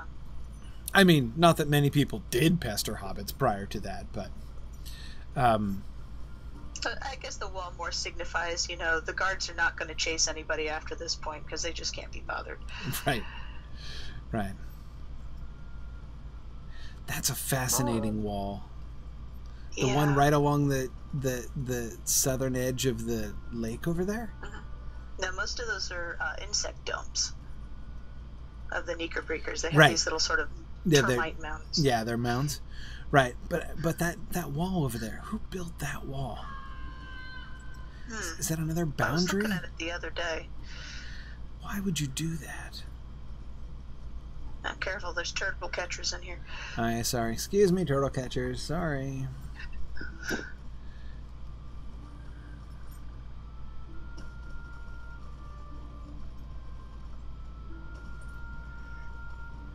Yeah, Doo-doo-doo. no idea. No It idea. looks like the stuff at Esteldín a little, but it's got the it's got Yeah. the Arnorian star on it. Right. Right, yeah, so it's less plain than the ones in Esteldín, but I mean, I guess it's just going from one place to another and right along inside the lake. Maybe this lake wasn't there back in the day. Uh, yeah, maybe this is just drainage. You can yeah. see drainage has been a problem with all the shoring up they have to do. Right, right. Yeah, probably so. Yeah, I'm going to guess that the, uh, these wetlands weren't there when that wall was originally built. But all of these different Arnorian walls, you can see that uh, we can already see them before we step into the town. Well, I, not that we didn't start in the town, but anyway, you know, but before we really investigate the town, we can already see that the in the game world as they're fleshing this out, they're imagining that the Arnorian kingdoms kind of built around Bree, right? I mean, all of these ruins give you the sense that when you know Arnor was in its uh, uh, was in its heyday, there was this like massive network of Arnorian structure, at least boundaries, if not actual structures, and but but the Brelanders were still just kind of living in the middle of it. You think they had aqueducts? You know, I wouldn't be shocked, but I don't see anything that looks obviously aqueduct. I mean, maybe they put aqueducts on the top of the walls, but normally you wouldn't build a solid wall. At least Romans wouldn't build a solid wall uh, to put the aqueducts on. Um, and here we get some more of these roads, but this is these are Bree roads, right? As we see this one again, more modern roads. This one leading to an outlying farm. So we have one outlying farm here. Now, of course, Tony, as you were saying, the empty lands about uh, Bree are not quite as empty as they're described in the in the in the book. Um, but again, this seems to be more a scale thing. I wouldn't imagine that. Um, I I wouldn't imagine that there were no outlying farms around Breeland, right? That the land about them is literally empty of any inhabitants. Um, it's just not called. It's just not tame. It's just not like the countryside of the Shire, right? Um, but there probably would be isolated homesteads out uh, in the more remote areas and stuff. And then, of course, like since because of the scale issue, you run across them relatively frequently here. But it does seem that they're trying to create this sense of of emptiness, of barrenness. That we've come across more ruins than we have, you know, houses and people. Certainly, there's still that Arnorian wall going along to, and this, of course, is the road coming south out of Bree, just as it's described in the book. But I want to keep circling around Bree here. Is that a copper deposit? Oh wow! Yes, it is.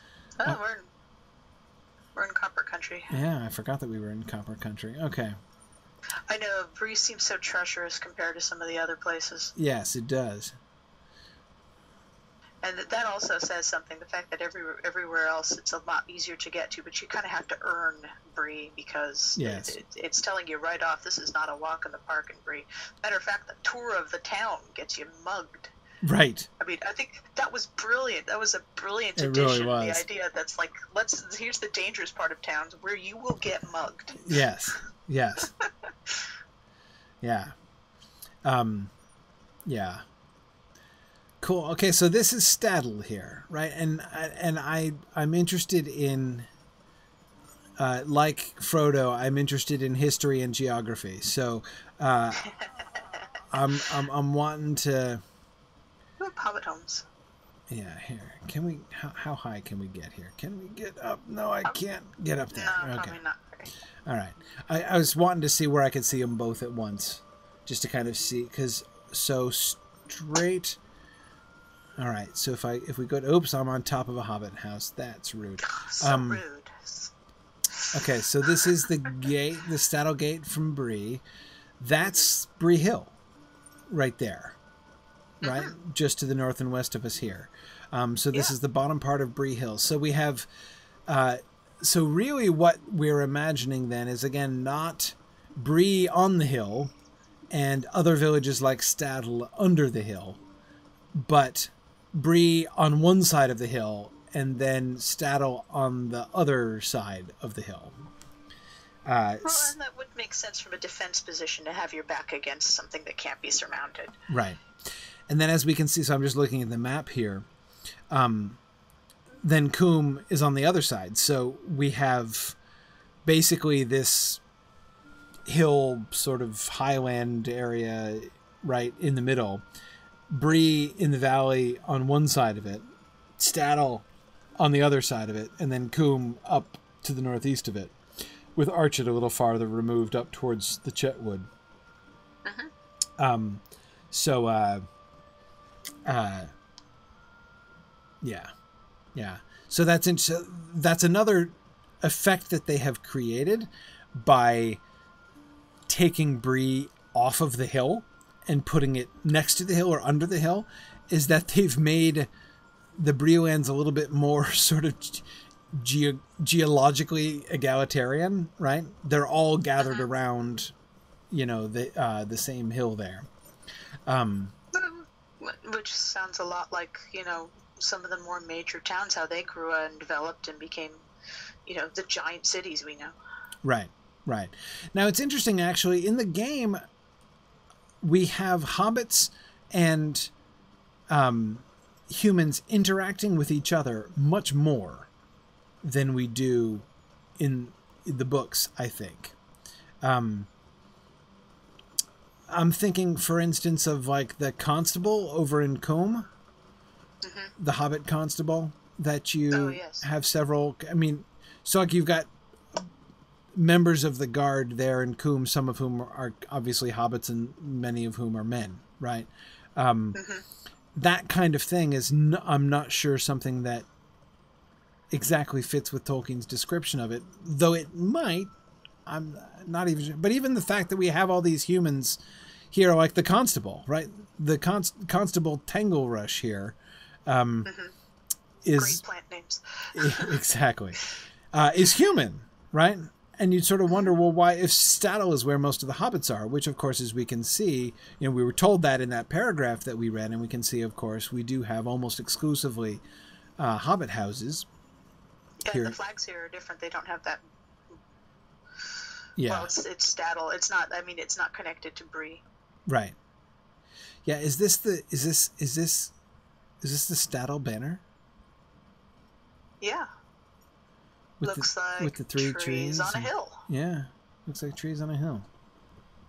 Is that an owl underneath it? I can't really tell.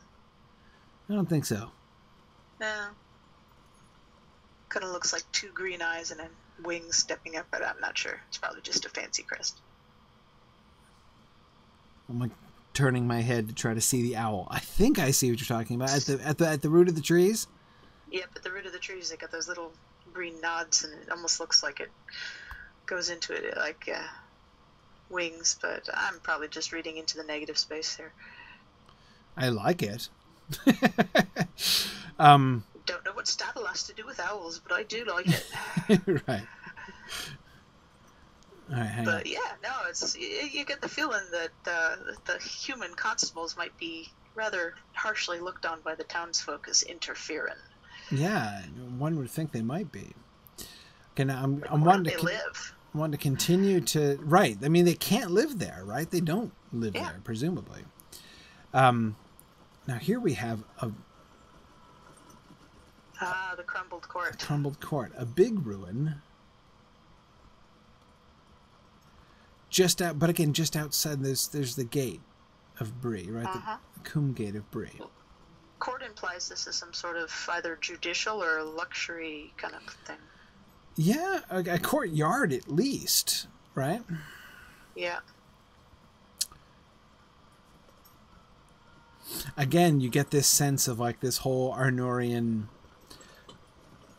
you know, world going on around, you know, built around Bree. Uh, and so then down here, there's Combe down in the valley. We've got the wooden palisade around Combe. Uh, and they're down much more steeply down into the valley. Combe feels like much much more like a valley than either of the other two, Staddle or uh, or or Bree. Yeah, it's much more claustrophobic and boxed in there. Yeah, yeah. Okay. But no, I, I love the little little mysteries they leave you with all the Arnorian ruins. I'd actually love to talk to a developer and see like if they had some sort of plan for that one. But Yeah, yeah, gosh, they did, it was done so long ago. Who knows? yeah, yeah. Um, cool. Well, so this anyway, we we we've gotten a bit of a a survey of the t- of the of the towns here. Um, well, of anyway, three of the four villages. Uh, we haven't been up to Archet, which is, as I said, a little bit further removed, and we'll get there. Um, but I just wanted to look at the layout and how the whole thing has been kind of conceived here. Um, and of course, we can see in game clearly their answer to the question, but wouldn't the Arnorians have been here too? You know, they've come to the same conclusion that we did. Looking at the map, there has to have been a heavy Arnorian presence here. And we find that clearly this must have been a centerpiece for Arnorian military focus because of all the walls, right?